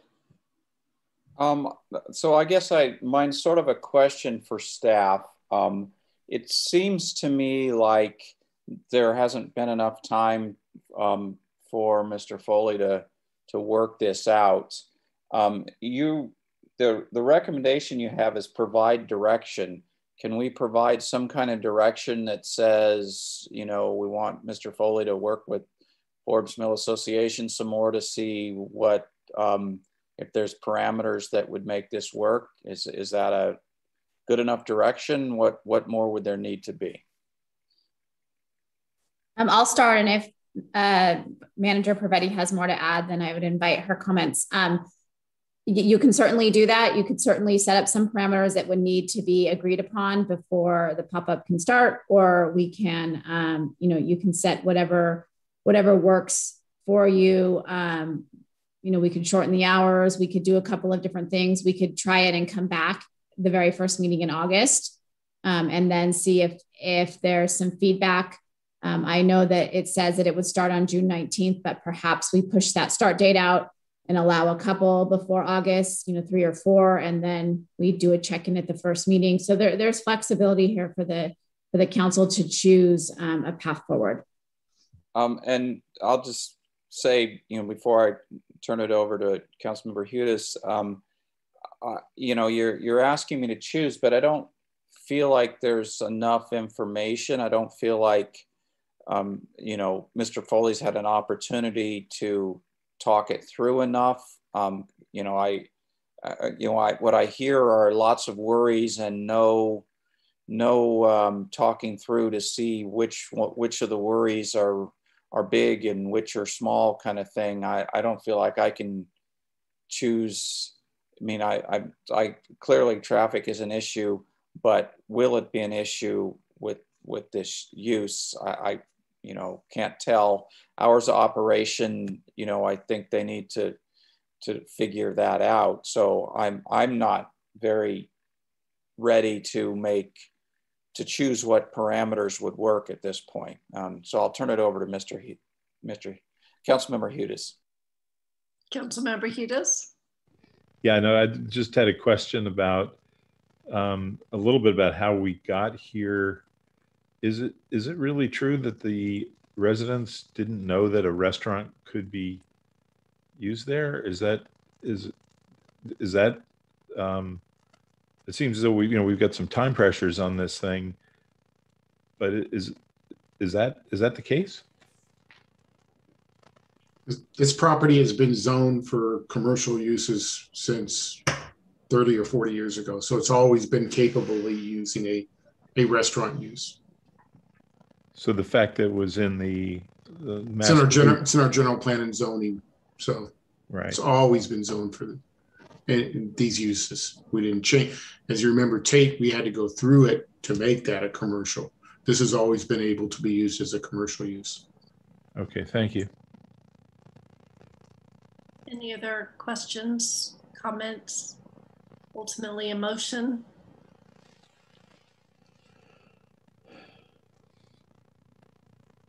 Vice Mayor Rennie?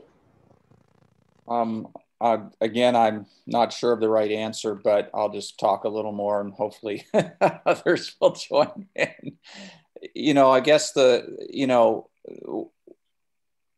one issue is, you know, what they want to try is during the summer. And so I was trying to, trying to figure out how do we move forward, but, you know, in, in figuring it out, if we wait for another council member to approve a council meeting to approve it, then most of the summer's gone because we're not going to have another council meeting for five weeks at least, I think. Um, so I'm still trying to figure out how to stumble through this. I'm not sure I want to just say no, um, but I'm not sure what yes is either, or maybe, or how do we move forward? So I'm looking looking to see if others have ideas. Councilmember Hudes? Um, I have an opinion that I, I don't think it's enough time uh, to uh, un, until further discussions go on um, between Mr. Foley and and the residents there, and and come to you know either something acceptable that that they're both willing to try. Because um, I don't I don't feel like it's tangible enough to say yes, do it, and we'll evaluate in early August. Because I don't know what we're uh, really approving at this point. So I, I my opinion is I would prefer to see this a little bit further along. I understand the summer's taking away, but um, I would imagine this concept would probably be valid uh, until the weather, you know, gets really bad. Councilmember Badame? Uh, as Ms. Quintana said, and, and others, I'm I'm intrigued by the idea, but then you have to look at the location and the logistics of it. And, and I can't think of any restaurant that's located at a dead end street anywhere. I mean, you've got to have circulation. But then you have to look at okay, is the need for the um, or the purpose mostly to satisfy the foot traffic and the cyclists that might come through, but that's going to be not something that's all year long. It's usually weather permitting that would be during the summer. And more than anything, it would be on weekends because that's when you get the traffic to, to um, enjoy the outdoors. They might draw them there to that location. So, and then I have to struggle with the fact that yes, Mr. Foley is willing to work with the HOA, and I have no doubt that he will. Um, however, I'm not sure that it can be reciprocated to a, a, level that would be comfortable for both. So I'm not sure we're there. I'm not even sure how it would work. Um, but those are my thoughts. Vice Mayor Rennie? Um, thank you, Mayor. So continuing to try to see if there is a solution here. Um, this is really a question for staff. Um, would there be some way for the council to um, make a motion that says we would approve this um, with if staff was satisfied that there was an agreement between Mr. Foley and the Forbes Mill Association for some way to move forward without, you know, that staff could then ultimately say, yes, we've, we've come to an agreement and then it could get started instead of us having to wait six weeks or so. In any suggestions from staff, whether that could work or not? That, that's certainly an option. Thank you for, for the thought. I think we would still probably want some kind of additional parameters um, and I think we've talked about a lot of different issues this evening. So if it's hours of operation, uh, parking, et cetera, you know, I think we would, it would be helpful to know what are the issues that we're trying to agree upon. Um, and then if there's a timeline, you know, what if we aren't able to come to an agreement, um, you know, by a certain time? Would you want that to come back? For consideration in August. Um, you know, and then, you know, staff would most likely have to be a party to those conversations so that way we could um, understand what both sides are are giving and taking um, and discussing. And so you know that that's going to take a little bit of resource.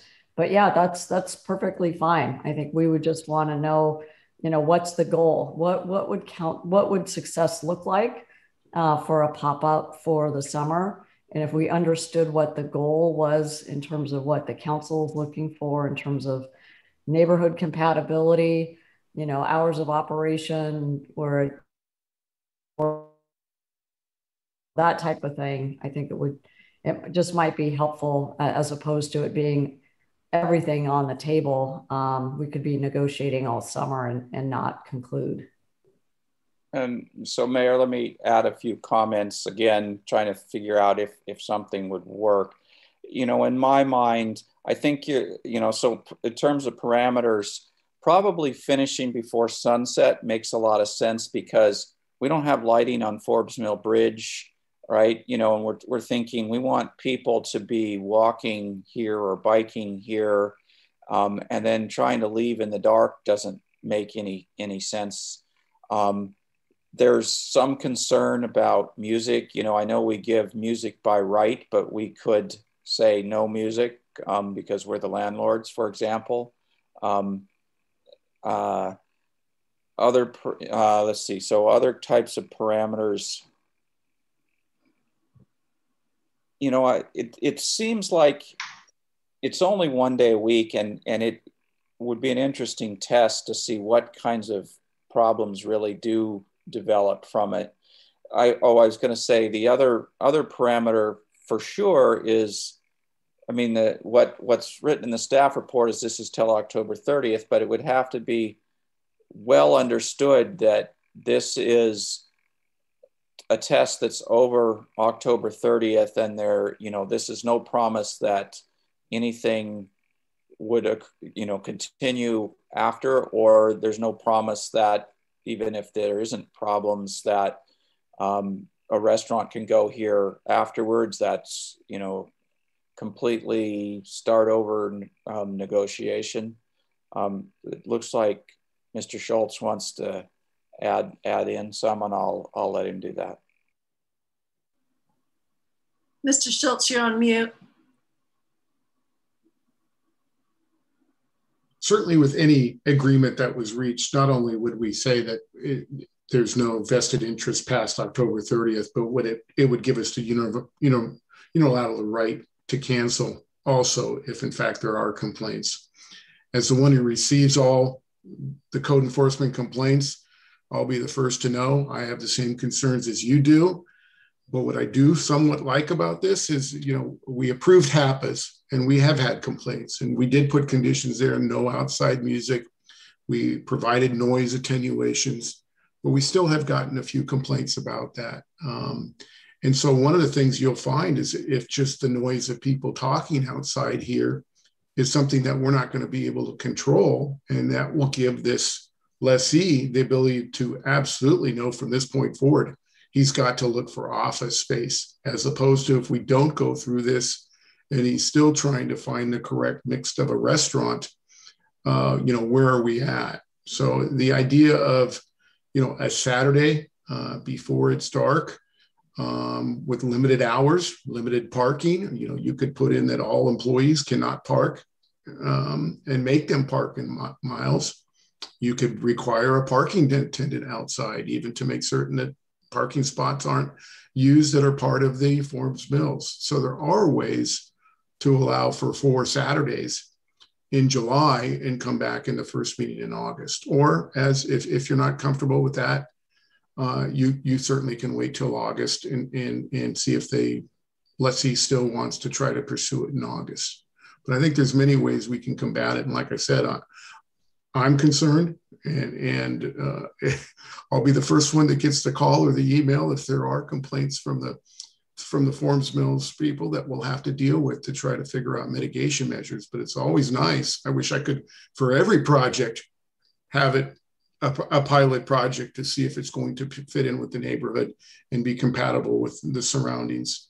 uh, in, in, this case, we've got the ability to try that. But if that's not what council wants, then then I think the message will be: if a pilot program doesn't work, then the message to this from this lessee is is to not look for restaurant whatsoever and to concentrate on office. Because I don't think I don't I don't think retail. I think uh, Mr. Foley would tell you that there's no way a retail is going to work down in this location. Councilmember Hudes. Um, yeah, I mean, I would um, sort of respectfully disagree a little bit that a permanent um, high-end restaurant is totally different than this. It it it, it really uh, the, the way people learn about it, the way they go there, um, and the fact that the cooking is indoors. Uh, there could be sound insulation indoors. I mean, I do think that I'm, I, do, I don't think we're going to learn a great deal about a, a, a long-term restaurant from this experiment. Um, I think we'll learn about the way that the uh, you know that uh, Mr. Foley and the other operators uh, cooperate with Forbes Mill. I think that might we might learn a bit about that. Um, but I had a specific question, and that is, could we also require um, a parking agreement between the restaurant and the For- Forbes Mill for additional spaces um, as as uh, one of the parameters. If in fact there, you know, it seemed to be there is some excess parking there. The council can put whatever parameters they want on on on this project.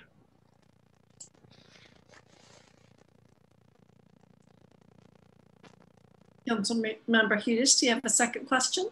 No, that was it. Okay. Councilmember Badame? we were to put that kind of parameter on there, I, I don't think that the, from, you know, the material I've read, the speakers, you know, that we've heard, that the HOA would be willing to do that. And what I'm going to be looking for is that um, Mr. Foley work with the concerns and satisfaction of the HOA before moving forward uh, with this. So that might even be a moot point, uh, what Mr. Hudes is bringing up. I'm sorry, Council Member Hudes. All due respect. Any other thoughts? I'll go ahead and share mine. Um, I think it was Vice Mayor Rennie that says I'm trying to figure out how to frame it so that I can say yes. Um, I like, um, it's easier for me to say what I don't like. Um, actually, let's start with what I do like, what I've heard so far. Having people vacate by sunset, I, I would be in agreement with that. I think um, having a parking attendant so that we can monitor the parking and, um, and actually receive data on whether or not traction of attracting people to a place that can't be seen off the main street. I think that would be an interesting um, to see how many people actually find it and walk down there uh, without taking parking. Trash, I think, is a big concern that I've heard. Um, monitoring trash in, trash out, the trash out, and, and making sure that there are no complaints. I think noise is going to be a valid one. Um, I'm, I would be supportive of the idea of tightening those parameters, giving them a month, and then coming back at the very first meeting to see how it goes. I just don't know if that would be an investment that Mr. Foley would be willing to make for a month. Huh? And so that those are those are so many unknowns that that still um, that are still out there. Vice Mayor Rennie? Maybe this is a question for Mrs. Renn. Um, I, get the feeling this isn't that big of an, an investment because um, Rye already has the trailer, they said. So they're basically pulling up their trailer and they're coming up with some tables maybe they have to buy or maybe they already have. Um, so it might not be that big of an investment for them to try it. You know, in other words, we're saying, yeah, go ahead for a month, and then two months in, we say, well, it's not working. Um, I'm I'm unsure that it's really going to be that big a deal for them, and maybe Ms. Renn has a idea on that. I think there's um, a couple of different investment pieces here. First would be the cleanup of the outdoor area, and then the furniture, as you stated, tables or whatever comes in. Um, and then second to that, that as a small business in Los Gatos, they're already needing to staff their brick and mortar restaurant. So I think the investment for them will be finding the staff that can maintain this, you know, this pop up. I don't, I don't foresee, you know, one set of staff being there 12 hours. That doesn't probably make sense in the restaurant world. So, you know, they're going to be looking at strategically planning. And I don't want to speak for them and their business model, but just from my limited knowledge of how it all works, I think that's really going to be the investment from Oak and Ryan being able to to plan long term of, you know, are we hiring these extra staff for a month? You know, is it a three month commitment? I don't, I don't know. And that's a conversation that I think um, you know, Mr. Foley could have with them, as you're saying, when he talks about the feasibility of it. So there's definitely the investment on the restaurant side and the investment on the Forbes Mill LLC side. Vice Mayor, your hand is still up. Well, I'm maybe trying to think if I can make a motion. Uh, you know what what you said, Mayor, seemed pretty good. Um, I'm trying to figure out how to exactly say the motion that um, we ask um, staff to come up with, um, to, to work with Mr. Foley, working with um, the Forbes Mill Association to work, work these details out, but with the parameters that um, employees can't park there, they've got to park um, somewhere else. Miles would be nice or in one of the other lots. Um, that it's got to close by sunset. Um, noise um, needs to be controlled. Um, you know, no no music. Um, the parking attendant idea seems to be popular. That might cost them too much, but you know, let's put it in and anyway. Um, and then you know the, the the you know the trash needs to be monitored. I we'll, we'll see what happens with trash. I, I suspect they're going to clean it up anyway, but we'll, we'll put it on the list. Um, and then, you know, also put in the provision that if it really doesn't seem like it's working two months in, that we might cancel it. So I would I would make a motion if staff thinks that's an adequate motion that they can implement. and Ms. Renn? Thank you. And Ms. Prevetti may have the clarification on this, but are you, are those parameters that you just set for, forth, are you saying that you would approve it with those parameters or you're still looking for the communication and the agreement of both parties with those parameters? I'm just trying to understand where. Um, I, I would, I think all of us would like to see Mr. Foley work more with, I, I don't think he's had a chance really to work much with the Forbes Mill. So we'd like him to work with them um, and we would like staff to kind of oversee the process to the point they feel like they're they're close to agreement. And then i've provided our parameters at which they need to help create an agreement. I think is this making any sense?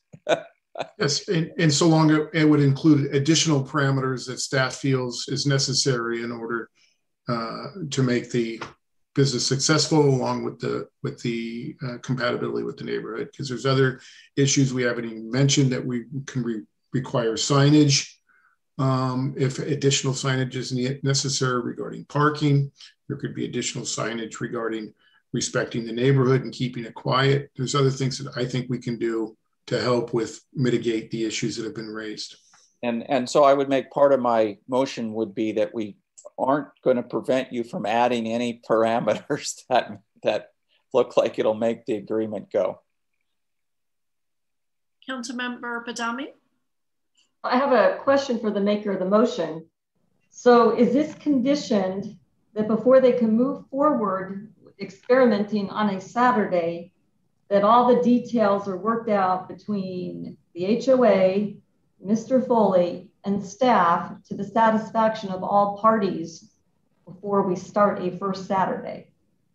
Um, I would not word it that way because I don't think you're going to get complete satisfaction from all parties. Um, that that would be a little bit strong. I'm leaving it up to staff to decide that they're close enough and and something has been worked out.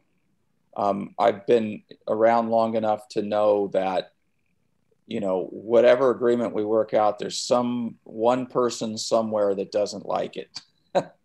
um, and so the idea is to get, I think, get close. Um, is is did I make this muddier for staff?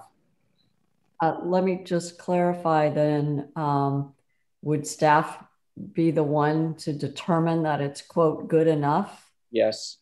Okay. That was that was my original um, motion. That was originally what I was trying to say to the satisfaction of staff, and they've been around longer than I have even to to know when we're when we're close. Okay, and so if I may, Mayor, you know, we would certainly give it our best shot working with all interested parties. Um, I don't know if we're going to find that sweet spot where everybody's happy or we're, we're close enough, but we're willing to give it a try.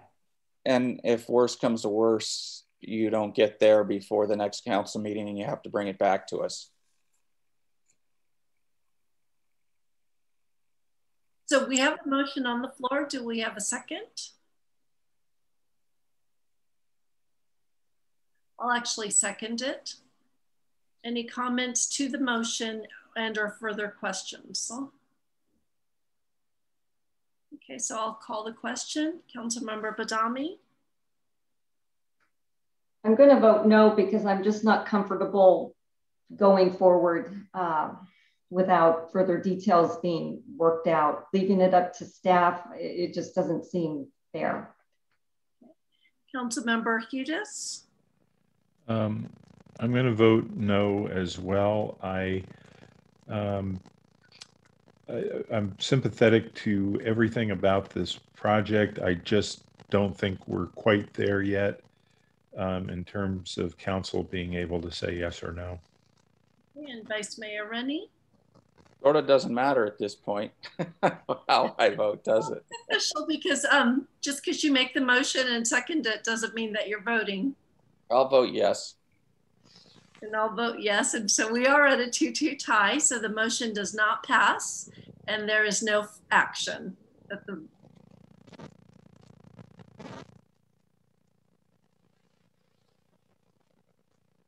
Would anyone else like to try a motion? or give further direction to staff.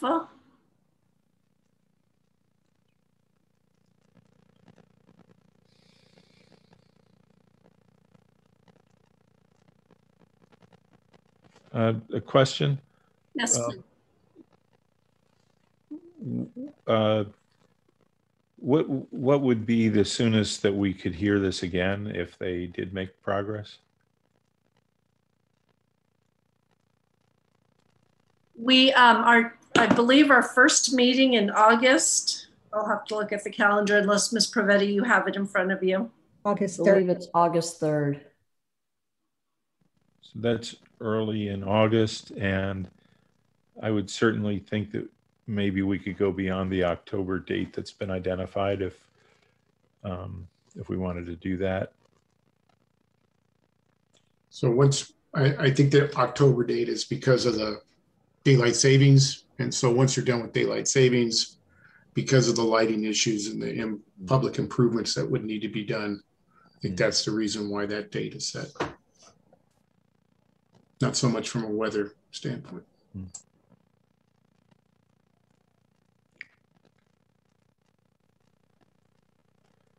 It wouldn't take a motion in order to to hear this again, correct? Correct. Um, I'd ask for a motion to continue it. Hmm.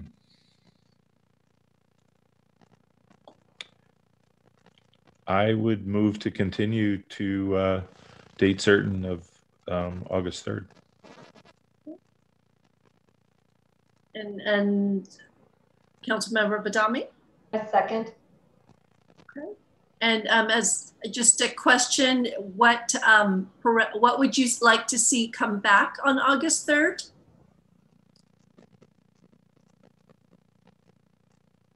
Um, I would like to see some of the details that Mr. Foley said were unresolved to be um, better articulated, such as hours of operation, um, that uh, and uh, parking, um, and uh, to have uh, a better sense from the uh, neighbors about whether that would be acceptable to them. And the maker of the motion? I mean, I'm sorry, the seconder of the motion, is that your under, do you accept? Yes. Thank you. Okay, um, any questions or comments to the motion? Seeing none, I'll call the question. Councilmember Badame? Aye. Councilmember Hudes? Aye. Vice Mayor Rennie? Aye. I also vote aye, and the matter is continued until August 3. And we look forward to that discussion. That um, concludes all of our business for tonight. Um, because I did close our uh, verbal communications at the 30 minute mark, I will open it again so that those speakers that did not have a chance to speak of verbal communications will have their opportunity now. Again, it's three minutes to those who would like to speak.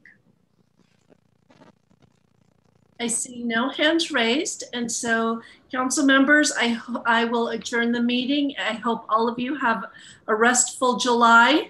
Um, and to, actually I see one hand raised, so I'm gonna go back um, so that we accommodate all speakers. Carrie, and if anyone else would like to speak, please raise your hand. Otherwise, I'm just gonna open it for Carrie and that's it. So.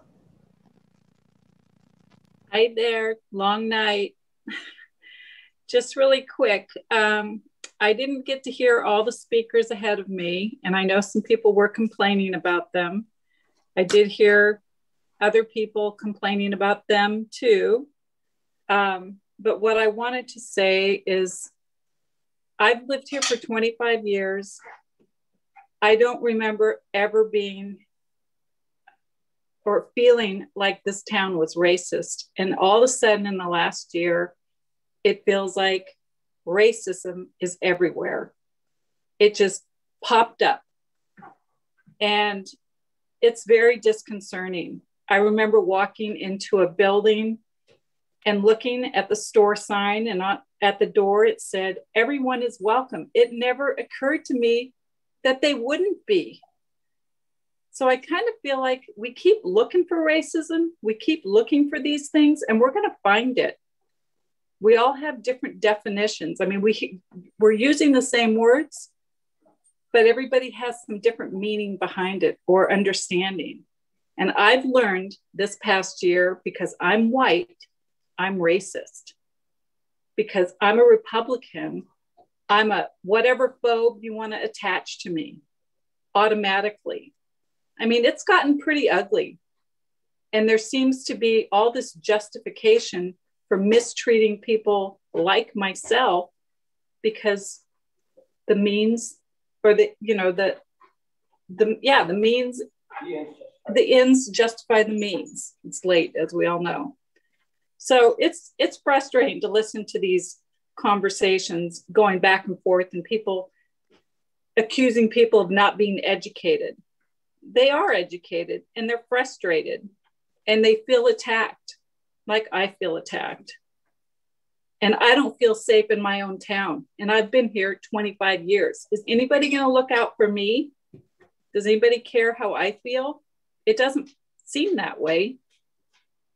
So, anyway, that's uh, kind of what I wanted to say. And and I wanted to say that also the people who are saying people aren't educated, maybe they should be reading stuff like Color Communism and Common Sense by Manning Johnson, or authors like Thomas Sowell, Walter Williams, Malcolm X, before stating people who don't agree with them don't know what they're talking about. Thank you and have a good night and get some rest. Good night. And so, council members, I adjourn tonight's meeting and have a good night, everyone.